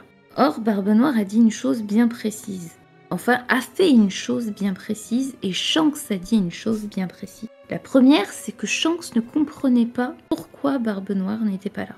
Exactement. Donc Shanks connaît tous les déplacements. Je t'apporte un argument. Je l'avais déjà mis dans la. C'est juste que j'ai oublié de le préciser, mais je l'avais mis aussi. Ouais. Shanks connaît tous les déplacements de, de Barbe Noire. Donc s'il n'y est pas allé, c'est que c'est pas normal. Son objectif était bien aussi Wano. Première chose. Deuxième chose, suspecté Wano comme objectif de Barbe Noire alors que. C'est ça. Mais le truc, c'est que à la place d'aller à Wano, il est parti sur Amazon Lily et il voulait récupérer quelque chose d'important. Mhm. Le fruit de. La pétrification, très marrant. Exactement. De la pierre, comme par hasard. Oui, de la de Boa, c'est la pierre. Donc Boa a bien dit, quel que soit en fait, euh, si son ancien propriétaire a lancé en fait le sort, euh, elle, elle pourra pas l'enlever. Mhm. Ok mhm. Vous comprenez le truc. Donc ça veut dire probablement qu'en réalité le fruit de boa est bien plus important que Et peut-être même que le fruit de boa qu'il voulait récupérer était en réalité euh, un ah. intérêt non pas pour une personne comme on pouvait le croire mhm. depuis le début, Mais peut-être pour quelque chose réalité, euh, de physique, de. Pour de- la, Pour pour la- peut-être. c'est ça, pour la barrière de Wano Kuni. Ok, jusque là tu me suis. Mais je me dis, si, la, si tu veux Pluton, et que techniquement, il suffit, entre guillemets, de détruire la barrière. Quand bien même tu détruis la barrière, logiquement, le, le bateau se trouve au fond de la mer. Bah, c'est un peu Donc- ça le, le- le- le truc, c'est de savoir où est-ce qu'il se cache exactement. Parce que de ce que je comprends, euh, Sukiyaki ne sait pas exactement où se trouve. Il est censé se trouver en dessous, mais il l'a jamais vu. Donc est-ce qu'il C'est ne peut pas le voir ou est-ce qu'il est Donc, bloqué? Est-ce qu'il C'est est. ce que je suis en train de me dire. Est-ce que là, on n'est pas sur un euh, Wano Pluton type, euh, euh, type l'île à la tortue? Genre, en brisant la barrière, en réalité, tu détruis ses chaînes. Tu Mhm. détruis ce qui le bloque, ce qui le tétanise et ce qui ne fait qu'il ne peut pas bouger. Mhm. Et que du coup, si tu détruis la barrière, Ah, du tu coup, tu veux dire soulèves c'est Wano qui tu se soulève soulèves, ouais, littéralement. Et du coup, ce qui m'inquiète, c'est qu'on revient toujours à la même chose. Techniquement, Pluton, c'est l'arme des enfers. Quand, quand t'as vu euh, euh, l'arme antique Poséidon, t'as eu une sirène. Mhm. Poséidon, mer, sirène. Logique. Jusqu'à partir de ce moment-là, il n'y a pas de surprise. Et les habitants sont donc des hommes poissons. Or, ce que j'arrive pas à comprendre avec Oda, c'est qu'il fait garder dans un endroit bien spécifique des humains pour quelque chose qui est infernal, des enfers. Pourtant, Zoro a vu la mort. Mhm. Et c'est Kuni. là où je me pose la question si, encore une fois, la thé- ma théorie que les habitants de Wano sont pas vraiment vivants, hein, et que c'est des âmes ou des fantômes ou des morts ou je ne sais quoi, et que dès lors où tu enlèves les barrières, t'as Pluton qui apparaît, tu vois, Mhm. mais ce qui comprend aussi les habitants. Et en clair, c'est c'est le, c'est bateau des enfers. Bah, toi, tu crois, toi, ça, va faire un peu à la, à la Pirate des Caraïbes où d'un coup il y aura genre l'équipage Ah, de squelettes. C'est vraiment ce que je me ce demande. que tu veux dire. Oui, sais. vraiment, c'est si on n'est pas sûr. Et c'est pour ça, on sait toujours pas euh, quand euh, quand on avait vu euh, au tout début de Wano le journal qui disait les fantômes de Wano, les fantômes de je sais plus où Ouais, ouais, qui étaient réapparus. On n'a jamais réentendu parler de ça. Ouais, mais parce Mais que c'était pour parler du, de, de, C'est ça. des, Mais des là je samouraïs veux qui en venir- du, du passé. C'est ça. Là où je veux en venir, c'est que en détruisant les barrières, peut-être qu'en réalité, tu vas directement soulever le navire. Mhm. Et que euh, ça voudrait dire que Barbe Noire, pour te donner cet argument, ne voulait pas le fruit de bois pour dépétrifier quelqu'un, Mhm. littéralement un humain, Mais peut-être pour avoir un dépétrifier- impact sur, le, sur la, la roche de le, le Pluton, dépétrifier littéralement Pluton et la roche qu'il y a autour. C'est là où je suis en train de me rendre compte Mhm. que il avait compris peut-être que aller sur Wano, tant passé, c'est pas faire. Après, je suis, je suis d'accord, mais le problème c'est que Bangkok, elle a pas le fruit de la roche ou de la pétrification. Elle a le fruit, elle a le fruit de la passion. C'est la, c'est, c'est directement lié à son, à son rapport avec la beauté, avec, euh, avec l'attrait physique et tout, tu vois. Donc Oui, mais le truc que tu comprends pas, c'est que Oda lui a donné un- un- une légende des enfers à Pluton. oui. Sauf que oui, et puis avec le serpent de Bangkok, c'est, toujours un truc. Non, mais c'est pire que ça. C'est Perséphone, l'histoire de Perséphone ou Proserpine dans la mythologie grecque et romaine. C'est l'histoire d'amour avec Hadès où il les emmène aux enfers, il la vole, etc. C'est une histoire d'amour, littéralement. C'est la passion.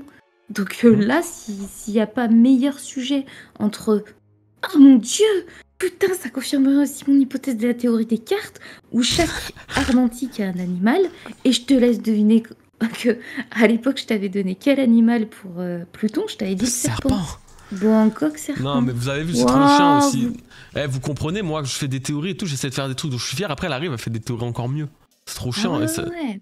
Ah ouais, ouais. ah ouais, ouais. Ah ouais, ouais, ouais, les gars. Ok. Là, on est sur, euh, là, on est sur du bon.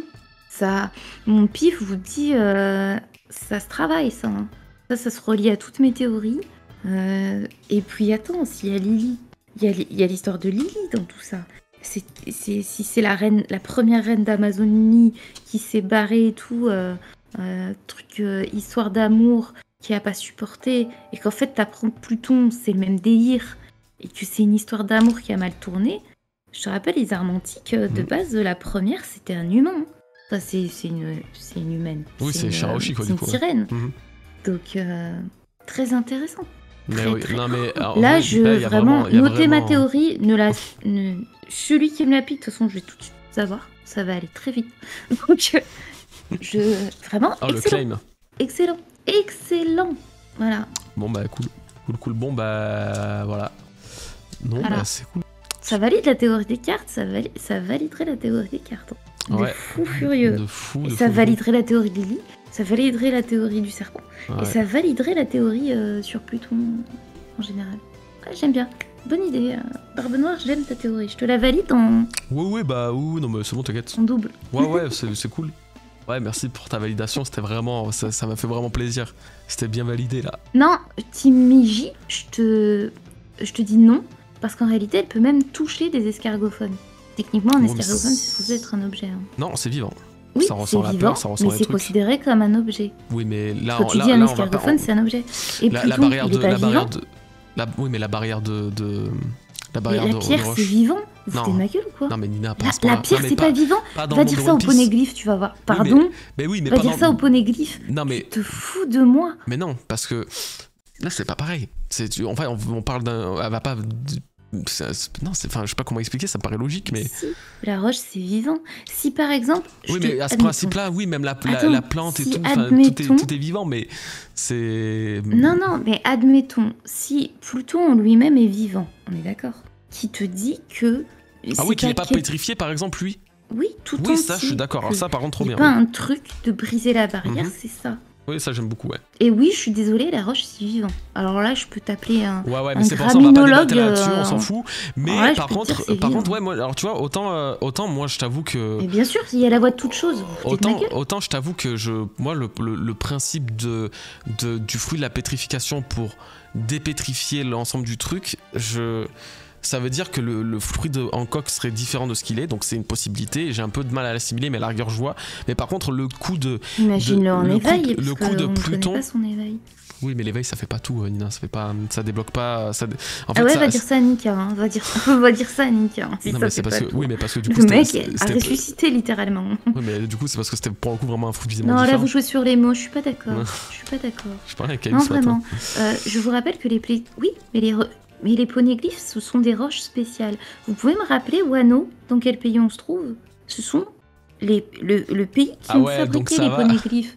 Donc je suis désolée qui te dit que. que- La roche de Wano, est spéciale, elle parle, ça va tous les matins, elle te dit bonjour. Non, mais tu te fous Ça va, monsieur c'est abusé. Non, mais non, mais. C'est fou de se faire discréditer pour des choses euh, qui n'ont aucun sens. oh, oh, Et surtout qui sont d'une mauvaise foi. Oh, affligeante. C'est terrible. Mais tu sais quoi? J'en ai vu des gens se moquer de Luffy va pas ressusciter en tant que Joy Boy. Vas-y, Euh, pas- vas-y. il va pas éveiller son Gear 5. Vas-y. Kanjuro c'est pas un traître. J'en ai lu des messages comme ça qui m'ont insulté. Qui sont Ouais, moi j'ai rien fait, hein. Mais t'inquiète. Moi j'y ai cru, hein. Fous-toi de ma gueule. On verra. On verra. En attendant, ce que je veux dire par Oh, là. Wano Kuni, le pays des racailloux. oh, let's Non, go. mais tout ça pour dire. Et arrête de te moquer, Starkist, du pot de caillou. Je t'assure, hein. La pierre, c'est vivant, que tu le veuilles ou non. Tous Non, les mais minéraux Ça, je suis d'accord, je suis d'accord que même en fait même oui dans One Piece il te, il te fait expliquer que toute chose est, est vivante, ça peut s'entendre, ça peut s'écouter, je suis d'accord, mais là vraiment dans le rapport du fruit du démon de Bangkok, tu m'aurais dit un autre fruit du démon, je t'aurais dit peut-être ok, mais là euh, en fait, si on, si on est bête et si on prend factuellement ce que nous dit Oda à travers le fruit du démon d'Hancock, donc vraiment c'est que de cette manière-là, c'est un fruit qui permet de pétrifier et dépétrifier des gens qui ont un attrait pour elle. Ah d'accord. Donc quand tout le monde faisait une théorie en disant que Redline ça avait été pétrifié par euh, l'ancien utilisateur de, ouais, moi du ça. fruit de la moi, passion, ça, ça passe. Par non, contre, bah, non, pas quand plus. je dis que ça a bah pétrifié pour, euh, pour, euh, pour Bah le truc de. Pluton et que ça a dressé une grande barrière de, de pierre, non, ça, ça, tu vois, non, non, Ninette, ça passe pas Après, ça. après, moi je suis pas d'accord. je votre. Non, je suis pas d'accord, mais même à la rigueur, Redline pour le coup c'est vraiment une montagne spéciale. Elle est rouge, elle est Ah, Parce qu'elle enchantée. est pas spéciale, la muraille de... de... Non. Pardon, attends, je t'arrête secondes. Soyons bien clairs. Le gouvernement ne veut en aucun cas, depuis 800 ans, Mais ils veulent rien péter la barrière. Non, laisse-moi Mais ils veulent même pas tuer. Lady, les, les... Attends. Euh, C'est des branquignoles. Rap- Rappelez-moi que, euh, on a vu avec Mother Flame, si elle veut péter de la pierre qui, ne- qui, qui se pète facilement, euh, et vu les samouraïs, leur niveau qu'ils ont eu sans, sans les supernovas, sans Luffy, pardon, mais il valait rien, Euh, je vois pas pourquoi le gouvernement n'ont jamais décidé de, de péter la petite pierre si c'était de la pierre organique simple. Je suis désolée. Ouais, mais ça, le, problème, le problème. Non, ah, mais, là, cette logique, cette logique, elle, s'applique pas. Parce que depuis le début, ils auraient pu fumer le Luffy et éviter son éveil, mais non, ils l'ont pas fait. C'est pas ce que je te dis. Là, on parle de 800 ans d'histoire. Si tu veux, si tu sais qu'une arme antique se cache là, tu t'amuses pas à ne pas que tu sais que ce pays est isolationniste, qu'ils ont créé les poneglyphes, qui connaissent l'histoire de 800 ans. Comme on l'a vu avec Ohara, tu débarques, tu prends les, les Buster Calls et tu pètes tout. Je veux dire par là que s'il y a une frontière et que même Oden s'est dit mais pourquoi il y a cette frontière? Là où je veux en venir, c'est que c'est pas une frontière commune et que ça ne se pète pas juste avec un, un petit point euh, à la con. C'est tout, c'est tout ce que je te dis. Je dis juste que ça peut pas se péter comme ça et qu'il y a peut-être et forcément même une particularité sur cette pierre qui fait que ça reste enfermé, ça permet d'enfermer Wano et donc d'enfermer Wano, ce qui comprend Pluton. C'est ça que je suis en train de t'expliquer et c'est très important ce détail. Ne, ne, ne badine pas avec les détails, s'il te plaît. C'est très important. C'est les détails qui font, qui font la perfection de la théorie et qui font que ta théorie peut s'avérer juste. Si tu badines avec ce genre de détails, c'est merdique. C'est pas bon. Oui, mais je suis d'accord, mais comprend aussi la comprend aussi le, la, la, contre-hypothèse du truc l'argument euh, qui va aller contre ça. Parce que pour le coup il existe. Ça rend pas la, théorie moins intéressante. Ça rend le truc où bah, c'est normal de se poser la question parce que si on, comme je disais si on réagit bêtement si on pense bêtement avec ce qu'on nous a appris depuis le début normalement c'est pas censé être euh, c'est pas censé marcher comme ça. Mais la normalité dans One Piece elle, a plein de définitions différentes. Donc c'est plus le truc du se dire euh, l'idée est bonne, mais est-ce qu'après il y aura ce, il y aura ce truc-là précisément? C'est en fait, on pourrait dire la même pour euh, ma théorie avec euh, avec le Gura Guranomi. Oui, mais il va faire ça, mais du coup peut-être il va tout détruire, il va même détruire Pluton avec, vu que ce fruit du démon est si puissant. Bah ouais, tu vois, du coup ça ça apporte un, contre-argument, un, un, truc. Euh, non, parce que je te rappelle qu'il a un autre pouvoir, Teach, qui est d'aspirer. Hein. C'est sûr que là, s'il veut, et s'il a le pouvoir entre guillemets des dimensions, euh, le mec, il peut à la fois péter la barrière et de son autre main absorber, euh, absorber Pluton, admettons. Ah, c'est vrai, c'est bien. Une, T'as apporté un bon truc. Ou alors, il peut carrément demander à Valo Pizzaro de se mettre dedans et le faire Wouhou Allez, hop, on enlève ça, hop Ouais, voilà, tu vois ce que je veux dire? Mais là où je veux en venir, c'est. Ouais, j'arrête de badiner avec les détails. C'est bon. Non, mais c'est vrai, j'aime bien ce mot, badine. On ne badine pas avec l'amour, là, on ne badine pas avec les détails. Je trouve que c'est très important de noter ces deux choses que tu veux omettre. Que, ce soit une pierre quelconque. C'est une possibilité. Mais je suis désolée, il y a deux précisions quand même qui sont beaucoup plus importantes que de trouver une pierre quelconque, qui est la première, pourquoi elle n'a jamais été pétée jusque-là, pourquoi c'est bien spécifique qu'il euh, y avait Momonosuke et Zunesha? Ça mhm. c'est la première chose, premier détail, et pas un minime détail. Le deuxième et le plus important que tu oublies pour le coup, c'est qu'on est au pays de la pierre on est chez les Kozuki. Ah, j'aimerais garder le meilleur de ce qu'on était. Ceux qui ont taillé, je capter, ceux qui ont taillé les poneglyphes. Je sais pas si on se rend bien compte, ces pierres quasi. Non, mais après, je suis d'accord que, je suis d'accord que la roche là-bas, du coup, elle a un truc un peu spécial. Surtout qu'en plus, c'est les volcans et tout, donc euh, bref. Oui, mais surtout. Il y avoir un bail. Et surtout, je vous rappelle que euh, le granit marin, c'est eux aussi qui le taillent. Donc, admettons que Pluton se soit lié à je ne sais quoi, et que là on est sur une pierre granit marin mélangée à la haute du poneglyphe, j'en sais rien. Ce sont, désolé de vous le dire, mais des détails hyper importants à, prendre en compte, bien plus que juste dire bah c'est une pierre euh, quelconque que n'importe qui peut péter. Et je suis désolée, je peux pas vous donner raison là-dessus. Ouais, t'as quand même beaucoup complexifié une théorie qui était toute simple de base, même.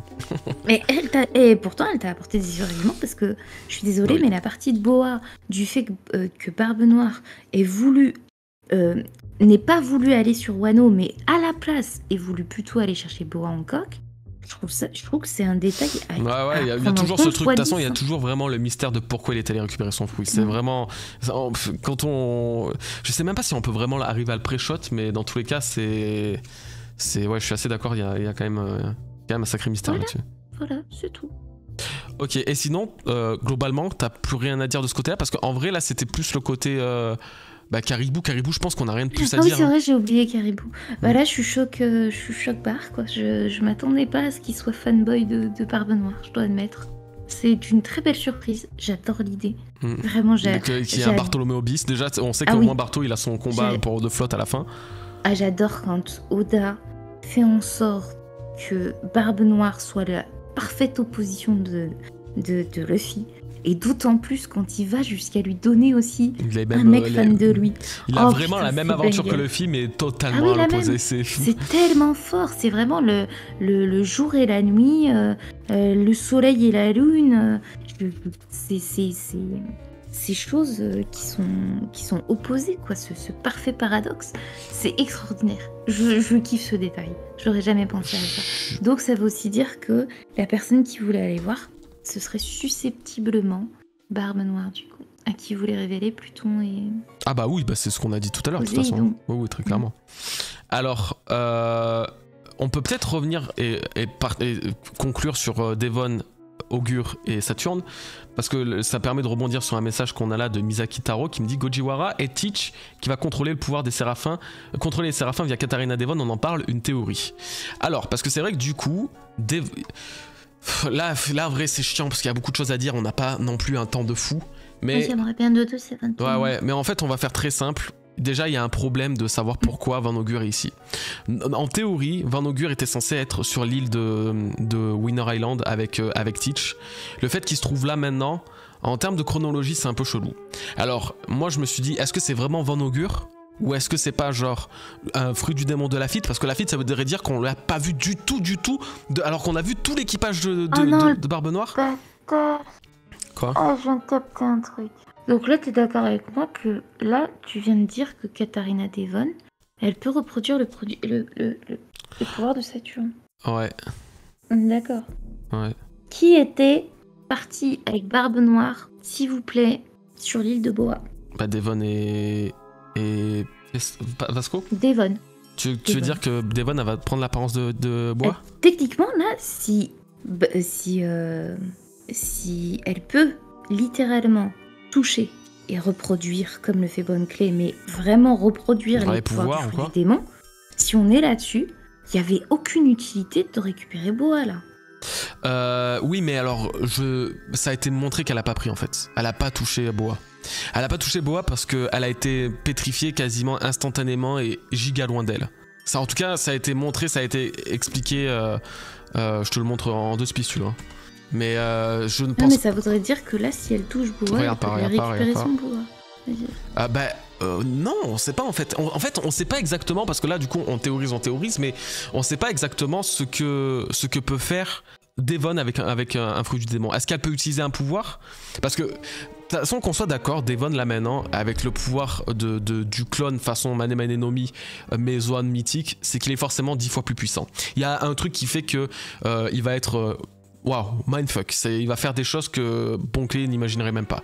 Donc oui, euh, l'idée qu'elle puisse prendre un pouvoir et le réutiliser, ça je suis totalement d'accord.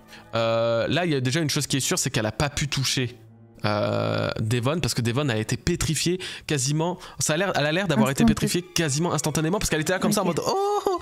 Euh, donc euh, non, là c'est ça c'est quasiment sûr. Et- après, par contre, l'idée c'était de savoir. Attends, c'était de quoi? Ah oui, l'idée c'était de savoir si. alors, on va juste repartir une dernière fois sur le truc de Van Augur qui a un problème, parce que Van Augur est pas censé être là. Euh, on pourrait se demander, ah oui, mais peut-être il peut se téléporter euh, d'une île à une autre. Ça semble être possible avec un niveau d'entraînement avancé, mais lui-même a dit euh, on est toujours sur l'île, peux, tu peux pas nous téléporter, plus loin. Et il a dit j'ai encore besoin d'entraînement. Donc ça prouve bien que euh, il a dû se, s'il n'était pas sur le bateau au chapitre 1079 là, quand on a vu le bateau de Barbe Noire arriver sur Egghead, s'il n'était pas présent sur ce bateau à ce moment-là, il a dû arriver alors après. Mais je vois pas l'intérêt de faire un scénar comme ça. Donc euh, je sais pas si c'est vraiment Van Augur ou je me dis c'est peut-être Lafitte qui a un pouvoir de cloner deux personnes, tu vois. Il, il est clone, il, il en crée un double. C'est un pouvoir qui Mhm. apparaît dans tous les, dans quasiment, pas tous les shonen, mais je pense à My Hero Academia, il y a un, typiquement un pouvoir pareil. Euh, Il y a, enfin, il y, a- il y a des trucs un peu comme ça de partout. Donc, pour ça, je me dis, est-ce que finalement, ça serait pas, euh, il serait pas issu du pouvoir de, de Lafitte, ou alors est-ce que ça serait pas littéralement Lafitte, mais avec un pouvoir, euh, je sais pas, je sais pas du tout. Euh, mais en tout cas, il y a un problème de savoir pourquoi il est là, et surtout de savoir ce que fait Lafitte. Lafitte, c'est quand même le mec qui est allé sur Marie-Joise pour demander une audience avec. Euh, pour faire en sorte que de, Teach soit Shishibukai. Donc il y a vraiment ce mec, il va faire la plus grande dinguerie de l'équipage de Barbe Noire. C'est une certitude et c'est un mindfuck. On sait pas son fruit du démon alors que tous les autres ont été mm. révélés. Oda il le garde mm. jusqu'à la fin, c'est pas pour rien. Donc ça se trouve on l'a déjà vu mais on le sait même pas. Ok. Euh, du coup, pour Katarina Devon, le fait que sa mission était de récupérer l'apparence d'un doyen, c'est ce qui semble être le cas. Parce que, enfin bon, ça nous arrange et voilà, mission accomplie. Merci Ewok Z pour ton sub, merci mon ref, dis-moi déjà, waouh, vous, êtes des anciens, merci mon poteau. Euh, du coup, on en vient alors le fait ils sont venus sur Egghead pour récupérer le pouvoir de l'apparence de, de, Saturne. Ça a l'air d'être le cas. Moi, je le traduis comme ça en tout cas. Hmm. Je le traduis comme ça, mais ça veut dire que, et c'est pour ça qu'il faut réfléchir et il faut se poser 40 000 questions. Si Devon ou Barbe Noire a envoyé euh, une cargaison là sur Egghead pour récupérer l'apparence de, Saturne, comme Devon vient de le dire, c'était sa mission, ça veut dire que Barbe Noire savait déjà qu'un doyen allait arriver sur Egghead. Mhm. Donc euh, ça, déjà, ça veut dire merci The Link pour ton sub. Merci mon mon, mon, Oui, merci. Merci à tous hein, pour tous vos subs et tout, vous êtes des amours. Donc, en gros, ça veut dire que soit Barbe Noire, déjà, il avait la connaissance euh, avant que, que Saturne arrive qu'il allait venir. Ah. Et maintenant, ça veut dire que Devon va utiliser l'apparence de Saturne. Ok. Donc, pourquoi faire? Moi, je sais pas, j'ai pu relier ça dans la review rapidement au fait de, prendre d'assaut Marie-Joise d'une certaine manière. De toute façon, prendre l'apparence d'un doyen, je pense qu'il n'y a pas mieux pour essayer de brain les autres et de les infiltrer. C'est généralement pour ça. Euh, euh, et, surtout que Barbe Noire voulait devenir, son rêve c'était de devenir le roi, et roi de la ruche. Il voulait faire en sorte que son pays soit reconnu par le gouvernement et avoir une place à la rêverie. Donc moi je me demande vraiment si c'est pas c'est pas tout plein de trucs comme ça. Utiliser euh, la ruche pour pour devenir roi, aller à la rêverie, utiliser Katharina Devon pour prendre l'apparence de Saturne et faire une dinguerie. Et tu sais quoi, Nina? Je vais aller mhm. faire pipi et je te laisse répondre ou donner ta théorie. Tu me feras un petit résumé. Ouais, attends, mais j'ai réfléchi parce qu'il y a trop de choses. Allez, vas-y, stimule ton cerveau. Je vais juste faire un pipi euh, en deux spies. Sauf si, tu veux, sauf si tu veux juste parler et puis me dire après. Si tu veux juste ah. répondre à, certains, certaines questions en fait, des juste Il y a des détails qu'il faut pas oublier, c'est que Barbe Noire euh, voulait une place à la rêverie et que du coup de base il avait enlevé Kobe pour ça. Donc là, il y a trop d'éléments. Là, Oda est très fort. Là, il est vraiment en train de mettre tout en place et. Euh, oui. Là, il, là, il est en train du cerveau. Là, bah, là, je vous dis, il faut du cerveau, hein, je vous assure. Là, il faut que j'enclenche un cerveau où j'ai besoin de tout mettre en place dans ma tête et de tout relier. En fait, très concrètement, il, faut faire un organigramme. Là, il faut faire un organigramme de l'équipage de Barbe Noire, de leur pouvoir et des déclarations qu'ils ont fait chacun. Parce que là, quand même, il faut prendre en tête que donc Teach fait partie d'une race spéciale, putain, faut en parler de ça aussi, mais ils ont le monde en, objectif. Donc le monde, à la rigueur, bah, rien de c'est rien, enfin c'est rien de particulier, rien de nouveau, on va dire. Barbe Noire, il avait déjà euh, montré avoir cette ambition au chapitre 441. Euh, quand il demande à, Ace de le rejoindre, donc ok, il fait de toute façon le truc à la Chebec il fait le truc à la Chebec, le truc à la. À la, à la en réalité, il a même l'ambition au-dessus. En fait. Bah là, c'est le monde, c'est pas un roi du monde, c'est le monde. Genre, Mais en fait, je me rends compte que on est en train de beaucoup dire euh, Barbe Noire a l'ambition de Chebec. D'accord? Ouais. Mais en réalité, Chebec et Barbe Noire, je me rends compte que leur ambition, c'est la même que Im c'est Im qui se tient aujourd'hui au sommet, sur ouais. le trône du monde. En fait, c'est juste remplacer, le, remplacer quelqu'un. C'est comme s'il y avait un roi des pirates que le fif voulait vaincre pour devenir roi des pirates. Oui, totalement. Mais en réalité, c'est Im qui avait ce désir. Et si Im, de ce qu'on sait aujourd'hui, son pouvoir c'est l'immortalité, logiquement, ça voudrait dire que ce que convoite véritablement Barbe Noire, ce serait aussi l'immortalité? Bah ouais, possiblement. Après, quand il, a hésité, quand il avait euh, le OP Nomi devant lui hein, avec euh, l'eau, hein. il était en mode. Alors est-ce qu'on est qu'on le vend ou est-ce que tu vas m'accorder l'immortalité? Je pense pas que tu le feras. Tu vois donc. Euh. Ouais, c'est pour ça c'est étonnant. Je pense pas qu'il soit, il a vraiment ce désir d'immortalité en vrai. Bah techniquement, s'il veut gouverner le monde, je vois pas trop comment il peut le faire. Bah après ça, ouais, ça je sais pas. C'est quelque chose qui va que que, que la Nerona a dessus, a en avance sur lui. Mhm. Et c'est quelque chose qui convoite. C'est un détail, tu vois, qu'on pense pas forcément. Merci, Better Call. Nils. Merci, mon poteau, pour ton petit sub là. Bon, moi, je vais leur parler de. Vas-y, va pipi. Moi, je vais leur parler de ma théorie. Je suis trop deg. Je vais vous expliquer. Parce que ce que vous voyez de Katharina Devon, sur le fait qu'elle puisse prendre l'apparence euh, sans, sans avoir besoin de tuer, parce que ça, c'était vraiment un détail qu'on ne connaissait pas. Ouais, ouais. euh, de, de, de Katharina Devon, s'il fallait que le personnage meure ou s'il fallait le garder vivant. Mhm. Parce que là, ça change littéralement tout. C'est-à-dire que peut-être qu'elle a pris l'apparence de je ne sais qui, d'un random ou je ne sais quoi, qui a croisé le regard de Luffy, elle a pu le toucher, ou là, elle peut, ça voudrait dire qu'elle peut la prendre l'apparence de n'importe qui. Mm. Mais c'est même pas ça qui me dérange, parce que ça me fait penser à Bonne Clé. C'est Ouais, pas, ouais, ouais. pas la pas, première c'est pas l'apparence. Le, but final, c'est pas l'apparence. C'est ça.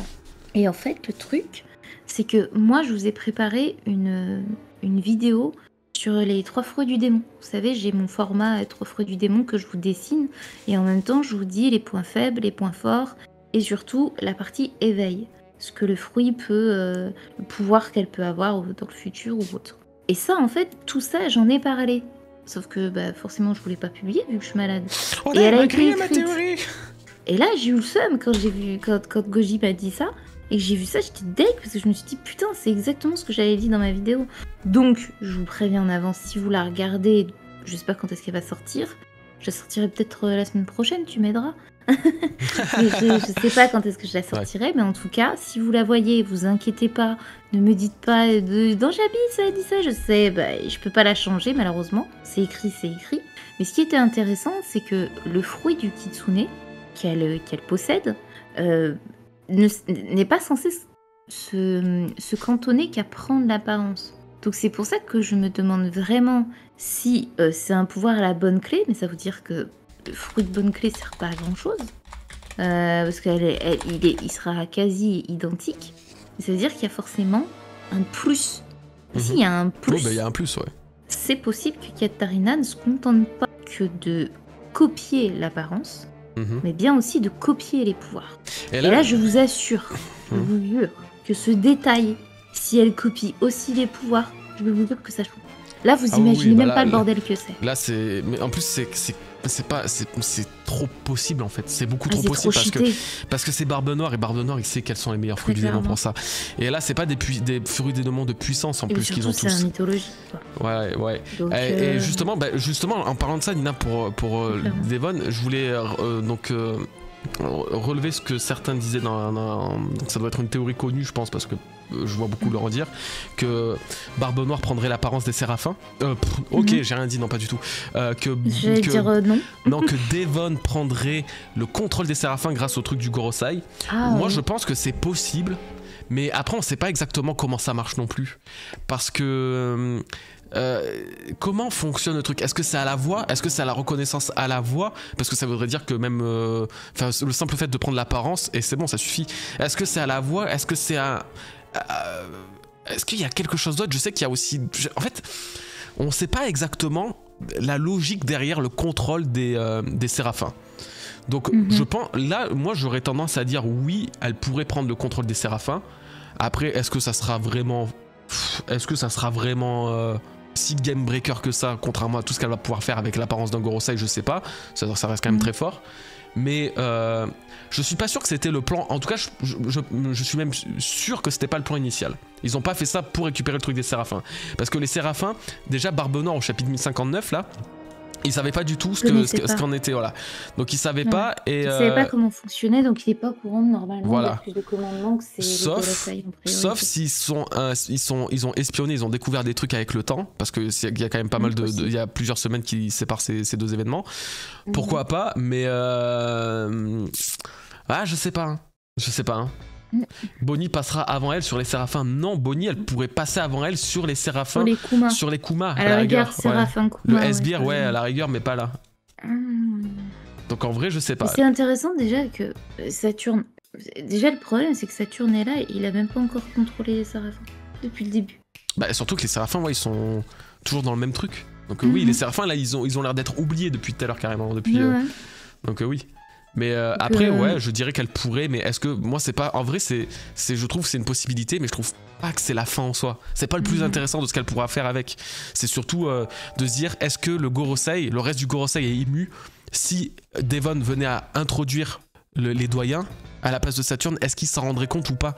Est-ce qu'il serait capable de discerner euh, qui est le vrai et le mauvais Saturne? Et moi, c'est plus ça qui m'intéresse. Parce que je pense que, justement, euh, il pourrait peut-être pas, tu vois? Mhm. Donc, ouais, les bulles flamands. Ah oui, ils sont de leur bulle d'eau. Tu vois, j'en ai oublié. Ouais, parce qu'on les voit plus, c'est dommage. Mhm.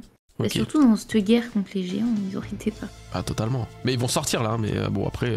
Ouh, ils vont être libérés là. Là, dans le prochain chapitre ou quoi, où ils vont être machinés.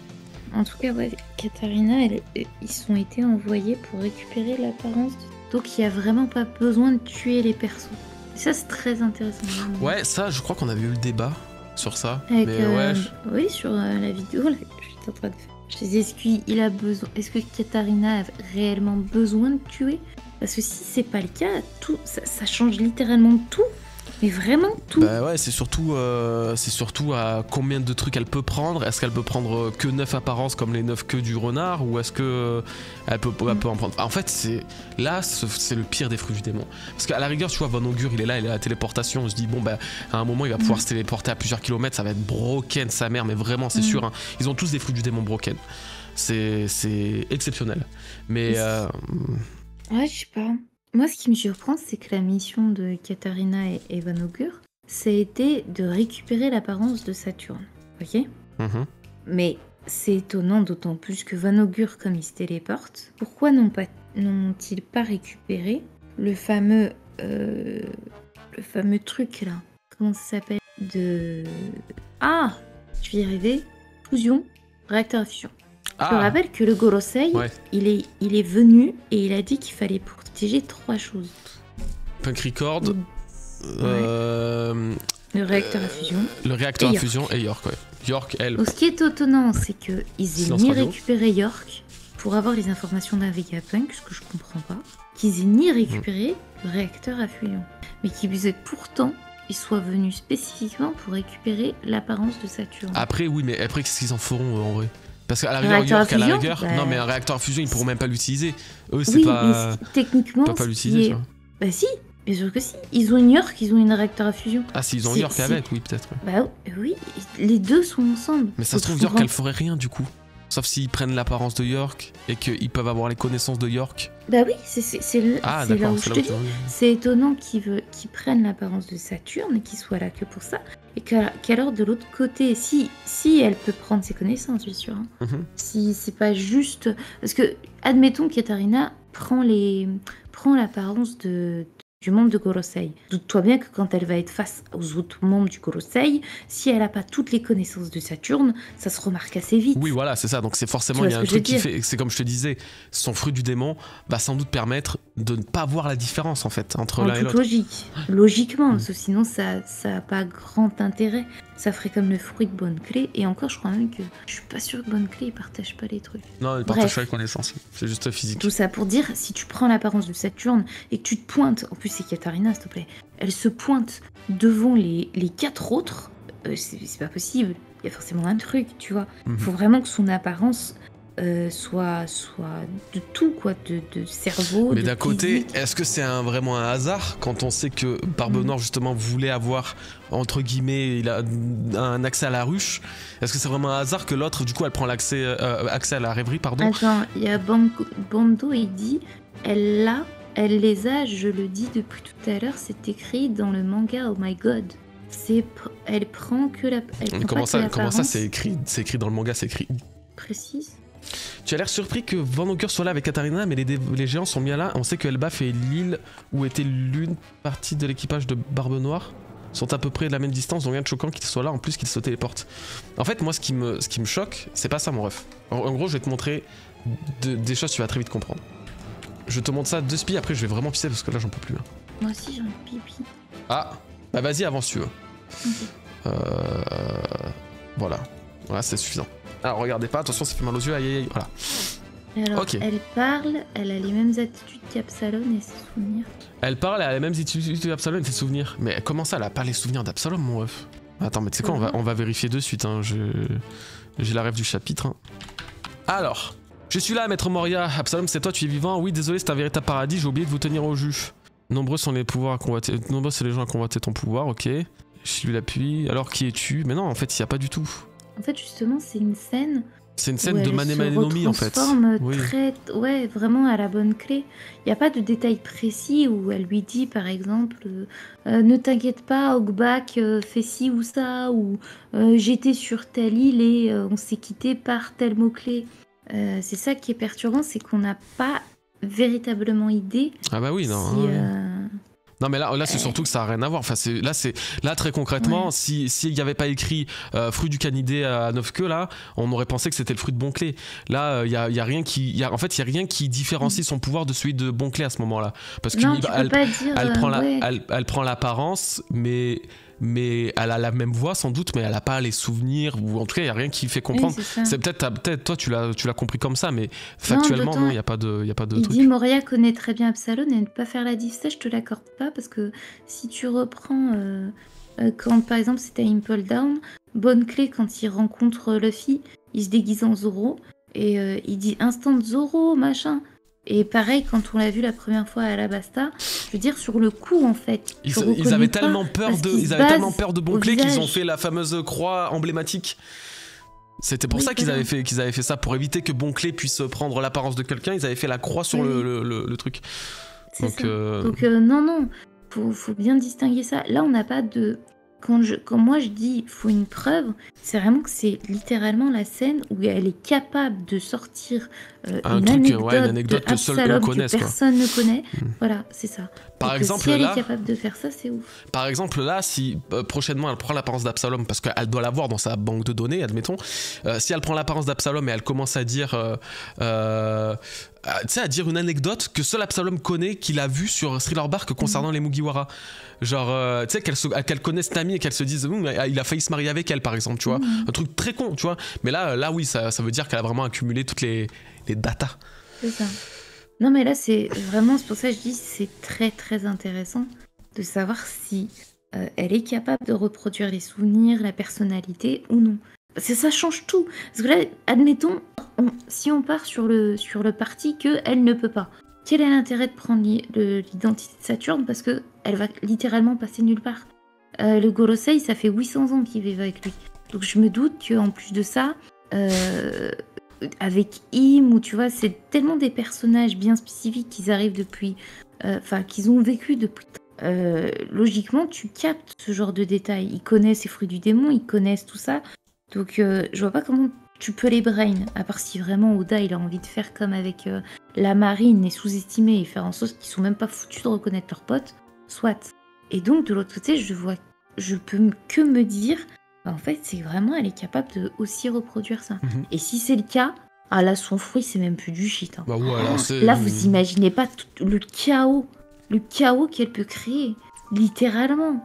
C'est-à-dire que la meuf, elle pourrait, elle pourrait vraiment aller sur l'Aftel, prendre l'apparence d'un Mugiwara, le, le buter. On n'en saurait rien de nous-mêmes. parce qu'elle serait identique.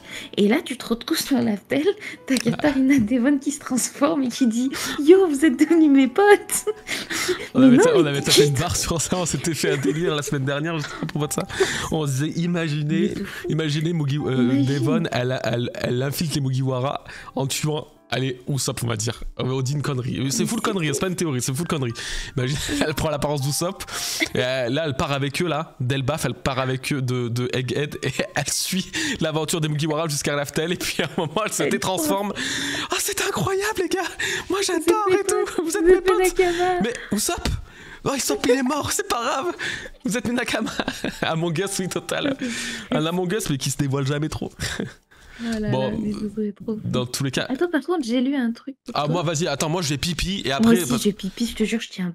Bon, bah, tu sais quoi, vas-y, vas-y, on y va, on y va. Moi, j'en ai pour deux secondes. Bon, alors, on va faire pipi. Allez, on arrive. Allez, à tout de suite. Easy My Hero Academia. C'est bon, je suis là. Est-ce que, est-ce que je suis arrivé avant ou pas? Let's go C'est moi le premier oh, On va la vanner sur ça. On va la vanner. Oh C'est bon. Excusez-moi, que je j'expulse de l'air. Euh, mon ref, mes refs, qu'est-ce qu'on qu'est-ce qu'on va dire? Attendez, parce que là, du coup, Nina est pas là, faut qu'on profite de parler de choses qu'on peut pas. Euh, bah non, je crois qu'en plus on a tout dit. On a parlé des passifs. Attendez, on a parlé de quoi? On a parlé de des passifs. Je crois qu'en fait on a vraiment parlé de, un peu de tous les sujets. Je trouve que par contre euh, c'est des, un des lives qu'on a fait le plus fluidement possible. Alors qu'en plus c'était pas facile, il y avait beaucoup de choses à dire. Euh, tac tac tac, donc ça ok, mission accomplie, ok, ça on a parlé. Bon, on a péplon Katarina Devon pendant une heure. Là on va parler de Teach et son cas spécial. Oui, non, c'est ça que je voulais faire. Alors, euh, je sais plus tout à l'heure qui me disait ouais mais euh, pourquoi tu balises sur le fait que euh, Van Ocker soit là alors que en vrai il avait, il avait le temps de venir là comme les géants vu que ça se trouve à côté et tout. Bon. En fait ce que je vous disais à propos de moi ce qui me dérange à propos de Van Ocker si vous n'avez pas vu la review et même si vous l'avez vu j'essaie de repréciser un peu mais concrètement le combat contre contre contre. Euh, oh putain, je suis désolé, je trouve pas mes mots. Le combat de l'eau contre Barbe Noire a commencé au chapitre 1063. Ouais, Roninette. Il a commencé au chapitre 1063. Donc, ok, Van Augur était là. Donc, il était. Euh, c'était le moment à peu près où. Euh, le moment où les Mugiwara sont arrivés sur Egghead. On est d'accord. Voilà. Le combat a duré un certain temps, puisqu'au chapitre 1081, c'était toujours dans le présent, Van Augur se trouvait toujours aux côtés ou en tout cas il avait l'air de se trouver, non il était, il était là, pardon, il était là, Van Augur se trouvait aux côtés donc, de, Barbe Noire. Donc voilà, il y a quand même plus que 5 euh, minutes de route entre les deux îles, hein, je pense. Hein.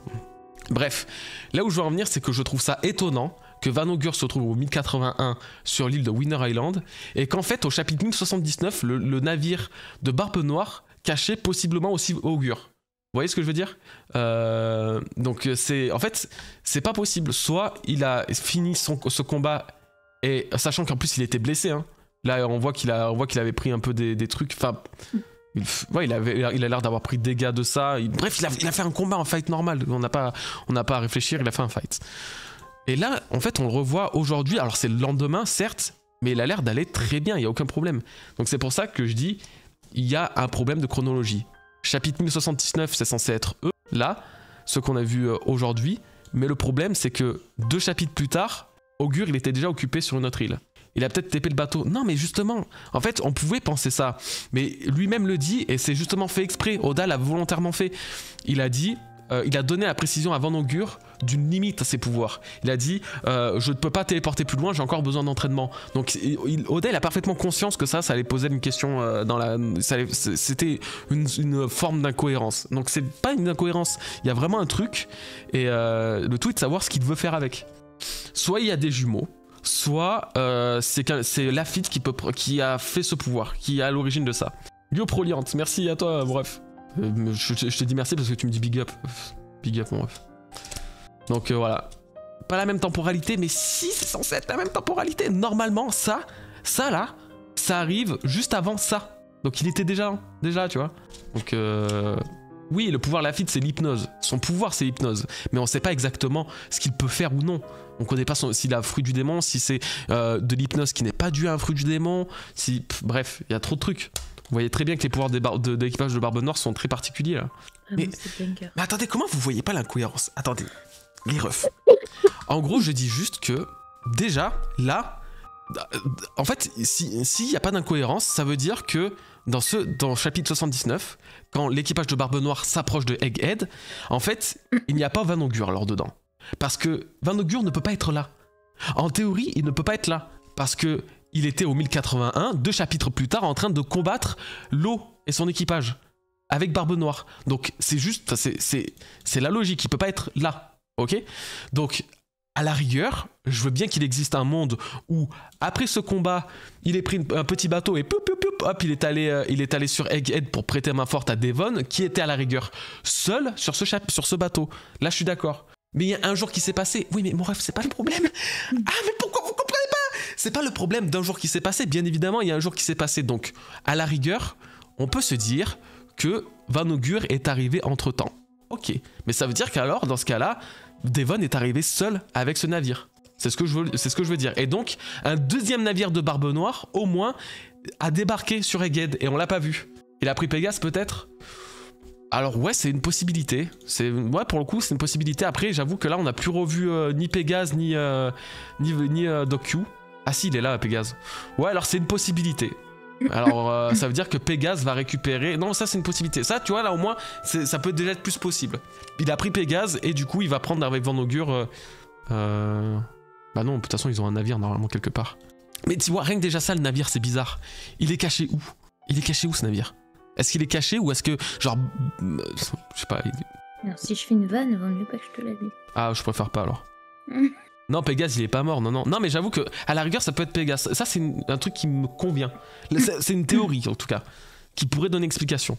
Mais sinon, je, je veux juste que vous compreniez pourquoi moi je trouvais ça chelou. Parce que moi, vraiment, ça m'a. J'étais comme ça quand je disais le chapitre là. C'est pas possible, frère. C'est pas possible. Pourquoi- il est là, lui? On s'attendait tous à, à Lafitte et c'était une quasi-certitude qu'il soit là. Bon, bon, Ouais. bref. Ok. Est-ce qu'on parle rapidement de la. Bah, ça, je pense que ça sera le dernier sujet, le plus simple. La race de Teach. Il est spécial. Teach est Comme un cas spécial, oui, de Mhm. même que son sang. Alors, ouais. Alors, de Oui, son comme le sang des boucaniers est spécial. hein. oui. Alors du coup, j'ai vu que certains qui me disaient, euh, mais du coup, Teach est un boucanier? Je pense pas. Parce que je pense que le, le sang de Teach lui permet justement d'avoir ces deux fruits du démon et tout. dormir. Et de pas Et de pas dormir. dormir. Voilà. Chose que les boucaniers euh, peuvent faire. hein, ils dorment. hein. Kuma a dormi. Oui, il dormait avec la petite. euh, Avec, euh, oui, Bonnie, dans la petite cage. pipou. Ouais. Il voulait pas l'écraser. Donc euh, non, euh, moi j'ai, je, je t'en ai pas parlé Nina. J'ai, j'avais noté un truc quand tu sais je, re- je relisais One Piece et que je notais chaque page. Je faisais Mhm. des screens sur tout. Euh, tu sais au chapitre 1040 euh, 143, on apprenait pour la première fois. Attends, Mhm. attends, est-ce que c'est vraiment 143 Mais non, c'est pas 143 frère. T'as besoin de quoi, dis-moi? Non non non non, attends, non non. C'est pas toi qui m'aide à chercher les chapitres, c'est moi qui le fais toujours. Ok. Ok, Nina. Chapitre 143, 133, pardon. C'est le premier chapitre ever Tu m'entends de Barbe Noire. C'est la Mhm. première fois qu'on entend parler de lui. Il est allé chercher un truc, vraiment. Voilà, il est, il est venu sur Drum, on sait pas trop ni comment ni pourquoi. Au pays du tambour. Nika, vas-y. Comme par hasard. Ok, mais ça c'est pas grave. Chapitre 133. On passe à la suite, chapitre 134. Euh, Luffy et Sanji partent pour sauver un ami, tu sais, pour la soigner. Mhm. Il Et- parle du fameux. J'ai déjà entendu des gens dire que. À propos, voilà, savais-tu que les habitants des régions enneigées comme celle-ci ne dormaient jamais? Ah bon, je peux savoir pourquoi? Parce, parce que s'ils s'endorment, ils peuvent mourir de froid. N'importe quoi, aucun être humain ne peut se passer de sommeil. Et si je t'assure que c'est vrai, il y a quelqu'un qui me l'a dit il y a longtemps, qui ça ou sop Non, non, j'ai entendu cette histoire à la taverne de mon village. Donc, est-ce qu'on peut considérer vraiment que c'est un hasard que sur euh, autant de chapitres de One Piece, autant d'années, les deux seules mentions comme ça, la première mention de Barbe Noire et la mention d'un homme qui, de, de gens qui ne dorment jamais, ce qui est un acte vraiment inhumain, enfin c'est- impossible, ne soit pas, c'est pas du hasard. Et du coup, on était là, enfin moi j'étais là à me dire du coup, bah c'est ça le secret de Teach, c'est que il est originaire d'une région enneigée, d'une île enneigée, peut-être Lodestar, admettons, et, et que du coup il fait partie d'une espèce de, de, de race, de tribu très reculée que personne ne peut voir si c'est sur de- pour le coup. Merci Gabi pour ton sub, merci beaucoup poto. Quoi tu rigoles, je sais pas. Mais c'est Bah, Shanks en plus, oui c'est bien Shanks. très bien c'est quelle race que je voyais à l'autre star. Oh non, je sais plus. Pour moi, c'était le pôle Nord. hein. C'était quoi déjà? Ben non, c'était mes fameux trois yeux. Ah mais de toute façon, les trois yeux, tu les as vus un peu de partout. Hein. J'étais sûre que t'allais dire ça, c'est pour Oui. ça que j'ai dit ça. C'est un mytho, alors que j'ai dû que deux pour deux choses alors. Ouais. Non, c'est pas grave. Ouais, j'avais dit sur. euh, J'avais dit sur Rodstar. Voilà. Donc, Et ça, Teach. je l'ai- mis dans la théorie sur euh, la quatrième aussi. Ah bah tant mieux. Je disais la cryptine totale et, et qu'il y avait. euh, Je disais que c'était le pôle Nord et que justement, c'est de là où pouvait venir euh, Teach. Ah bah ça fait que confirmer ce que tu dis. Donc ça ouais, peut. mais tu peux. Moi, ce qui m'intéresse, c'est plus. Tu peux regarder, s'il te plaît, le SBS ou je sais plus quoi, où Oda avait donné l'identité de sa mère et de sa sœur. Ah oui, c'est euh, One Piece Magazine. Euh, ça va être trop chiant de trouver la ref. Il n'y a pas de ref comme ça. Mais. Tu peux euh, pas regarder Wiki, sœur, sœur mère, sœur mère en, en anglais. Mais en fait, tu veux savoir quoi? Parce qu'on ça, ça, ça dit rien de plus. Enfin, je veux juste revoir si on voyait pas un détail physique ou autre, parce que j'avais pas regardé à l'époque. On sait jamais, en mettant Saturne dit ça, je me dis peut-être un détail. Peut-être qu'ils ont du sang vert. Hmm. Ils ont du sang bleu. Non, ils ont du sang noir. Tout. euh. Voilà. Il y en a une qui ressemble à Nico Robin. Alors, fais voir. Ouais, elles ont pas de particularité. Mais Non. qui est la mère, qui est la fille? C'est pas les deux sœurs, ça? Ses deux sœurs, il a, il a deux sœurs. Ouais, il euh, manque la mère. Il Je crois qu'on avait vu une mamie tout au genre. wow. Ouais, voilà, la petite mamie. Ah, je suis sur les sites qui reprennent toutes nos tête? miniatures, let's go. Ah Oh, non, maman. Vas-y, please. Vas-y. Est-ce qu'il y a Un une chapeau de cow-boy, elle vient de- ici? En tout cas, ils sont pas habillés en mode hiver hein, dans sa famille. hein. Non. Ce qui serait surprenant quand même. Et si c'était en fait pas vraiment ses sœurs, mais peut-être. En fait, moi je trouve ça trop chelou d'avoir intégré les, des sœurs et la mère de Teach. À quoi bon? Bah, Bah, surtout dans ça, un One Piece magazine. truc. Il doit y avoir un truc. C'était quel le One Piece Magazine, toi, tu le vois On l'a pas Euh. Non, je crois pas. Il y a deux ans, non, je sais plus. Si on doit l'avoir. Je sais plus lequel c'est. Hmm, Je sais pas. On regardera au pire, mais. Non, c'est intéressant. Encore une fois, euh, Tish, c'est vraiment euh, The Mystère. Ouais. Et moi, je sais pourquoi, mais il y a un truc qui me perturbe chez, chez Teach. Hmm. Techniquement, on est d'accord que euh, Luffy est le parfait opposé de Teach. On est d'accord là-dessus. On peut difficilement faire mieux, ouais, je trouve. Ok, on est d'accord. Le truc que je comprends pas, c'est que s'ils sont des parfaits opposés, pourquoi se rejoignent-ils sur le fait d'être des dits? Puisque, je le rappelle, le parfait opposé des C'est les Exactement.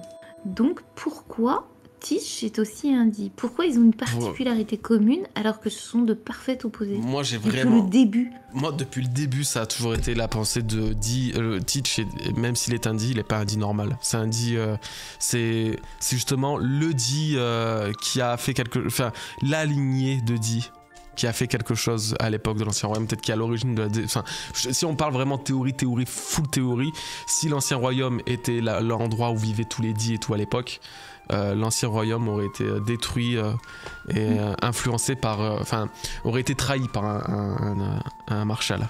C'est vraiment En le, fait, c'est que vraiment la question que je me pose.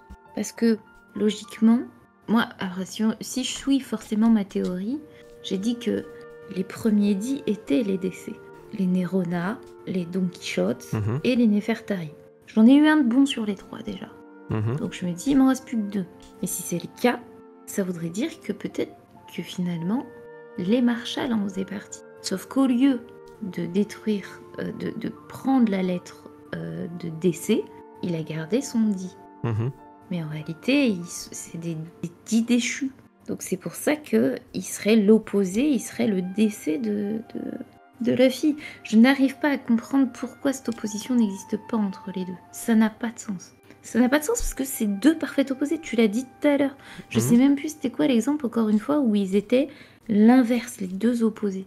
Mhm. Donc je vois pas pourquoi ils ont ce point commun. Voilà. Je pense que vous êtes trop tranché. Le dit, comme dit Ace, au mon corbeau, n'importe qui peut, être, peut en être un. C'est juste que ceux qui suivent leur volonté par tous les moyens. Euh, non, bah quand même non. Non, non, non. C'est- Il y a, il y a un autre truc. En fait, euh, c'était des enfants qui parlaient là, tu vois. Euh, c'était un enfant qui disait bah je sais pas d'où ça vient mais tiens si tu veux l'avoir vu que toi tu l'as pas on te donne le dit tiens. C'est pas on peut pas prendre ça comme argent comptant je pense. Ça peut peut-être signifier quelque chose ouais. Mais euh, euh, quand tu vois justement Cobra qui dit nous sommes dédits, l'impact que ça a et la, la façon dont ça fait câbler Imu, tu peux pas dire que les 10 c'est juste des gens qui le prennent et puis que non, il y a, y a notre, notre chose. Quelqu'un sait, moi, ce que j'avais dit comme, comme traduction du dit Putain, je suis sûre personne s'en souvient, ça va me déprimer. Le plus rapide qui répond, On dit tellement de choses en même temps. je dis que c'est le goth. Que signifie le dit? Putain. Deva, Deva, vous voulez me tuer en fait? Dada, je vais mourir. Roro, esclave, c'est vrai. Daza, dit comme déprimé. Ouais, c'est Daza avec un S, hein. pas un Daza avec un Z. Je vous l'accorde, mais. Je suis même plus sûre que vous retenez mes théories. Hein. Doudou, Mais oui, c'est Daza. Monkey Doudou Luffy. Oui, ça signifiait esclave. Et ce sont donc les esclaves qui se sont rebellés pour devenir des dieux. Ce sont des esclaves qui se sont rebellés contre les dieux pour à leur tour devenir des dieux et faire des autres des esclaves. Donc si on Oh, la boucle. Ouais, c'est une boucle. C'est- d'où le principe de la spirale, hein, comme l'expliquait Mhm. euh, toute sa vie euh, Oda. Mais je me dis, s'il y a ce fameux schéma et que t'as Teach qui veut reprendre le monde, je, je me base à ma théorie du Daza esclave. Mhm. Et c'est que lui-même, tu vois, forcément, il l'a été. Il veut, il veut dominer, il veut un pouvoir de domination. Tout comme les, ce que j'expliquais dans ma théorie, qu'ils veulent tous devenir roi de quelque chose, maître de quelque chose, pour se venger de quelque chose. Mhm. Donc il y a forcément un passif de Teach sombre. Pourquoi veut-il ça? Et j'espère, du plus profond de mon être, qu'il va pas me sortir Oda un truc comme euh, je sais plus quel manga que j'avais regardé, et qui avait pas justification, il était méchant pour être méchant. Ah C'était. euh, Ah je sais pas citer, mais oui, je vois c'est qui. Et j'espère que ça va pas être ça. Parce que je ne veux pas qu'un Teach soit Teach. Je veux pas le Dark pour Dark. Il est Dark parce qu'il est né Dark. Tu vois ce que je veux dire Ah oui, oui, non, non. Non, mais c'est impossible. sort pas parce qu'il dort non, pas. non, non. Il est fatigué, du coup il en il est fatigué. totale et il pète des câbles. Au Vous voyez, contraire, parce mais... qu'on dit que le manque de sommeil c'est agressif. Mais non, Donc le mec non. est devenu fou à force de pas dormir. Mais en fait, c'est qu'il a pas besoin de dormir, en fait, apparemment. Il a pas le, le- la- le besoin de dormir. Mais non, au contraire, je pense que justement, ce truc de, de- de- de- qu'il ne dort pas, c'est la plus grande qualité que Barbe Noire peut avoir au-delà de tous les fruits du démon. Oui, il vit pour deux. Bah, bien sûr. Parfait. hein. Tout le monde rêve ça. Oda rêve de ça. Je Oh rêve là de là Mais ça. Non, en t'imagines. fait, je rêve pas de ça, c'est faux. T'imagines. C'est Bah oui, totalement faux. Je viens de raconter un total Bah si, sauf, si t'as si vraiment aucun, plus, aucun, plus aucune sensation et besoin de dormir, oui, à la rigueur, mais... Non, parce que je kiffe dormir et je kiffe bouffer. Du coup, l'avantage de dormir, C'est que tu bouffes pas. l'avantage de dormir, c'est de savoir que tu vas te réveiller pour aller manger. Ouais. Or, si tu ne dors pas, bah tu sais plus quand tu manges. Tu te dis, merde, j'ai mangé à midi, mais tu peux pas remanger deux heures après, quatre heures après, six heures après. C'est mort Du coup, non, je pourrais pas. Il faut que je dorme et il faut que je bouffe. C'est vraiment trop, trop banger. C'est vraiment quelque chose d'extraordinaire. La patate qui parle. Et c'est la grosse qui parle. Mais c'est aussi le, le- le signe que le live arrive à sa fin. Parce que chaque fois qu'on on finit, Oh, on arrive à un truc, de- on commence à parler. de- Ah oui, c'est vrai, on Mm. avait, c'est pas la première fois. Ouais. Bon, après, globalement, si on peut terminer sur ce chapitre, parce que moi je commence à être un peu aussi fatigué, même si euh, j'imagine que Nina ça doit être pareil. Euh, c'est que J'ai ouais, faim, j'ai pas mangé. c'est un, un chapitre exceptionnel, trop bien. Euh, ce que prépare, ce que prépare vraiment là le- l'équipage de Barbe Noire, c'est de plus en plus gros et Oda il le gère trop bien, je pense. C'est tout, tout m'a l'air parfait là. J'ai rien à redire, j'aime trop. Là, je suis client, j'achète, j'achète. C'est Mhm. terrible. Je suis trop, je suis trop fanboy de l'équipage de Barbe Noire, de ce qu'ils font et, et de ce qu'ils représentent. Et c'est pour ça que je- j'espère vraiment euh, que là-dessus il y aura aucune déception. Mais j'ai vraiment, j'ai pas, j'ai pas, de- j'ai pas de stress là-dessus. Et euh, ce chapitre était très bon et euh, il a Pardon. ouvert les vannes encore une fois sur. Euh, Ok, ça va. Non, c'était vraiment, c'était vraiment, ouais, il a ouvert les portes sur encore un monde de- de- d'i- d'idées, d'imagination de, de furieux. Ça va, il t'a plu, toi, Nina? Ben, pas trop parce que je l'ai pas beaucoup vu, mais moi ça m'a hypé. En fait, ça m'a plus déprimé de savoir que je puisse pas faire une théorie là-dessus, une, une vidéo complète là-dessus. Là, j'aurais eu envie de tout étudier. Là, il y a trop de choses à étudier. Je veux faire mon organigramme Ouais. qui permet de tout relier les comme trucs, je fais ouais. Et moi, c'est un truc qui me stresse. Vous savez que je suis la reine des organigrammes. hein. J'adore ça. Je l'ai fait sur toutes mes théories. On va le faire sur Barbe là- Noire, je pense, quand même. Ah ouais.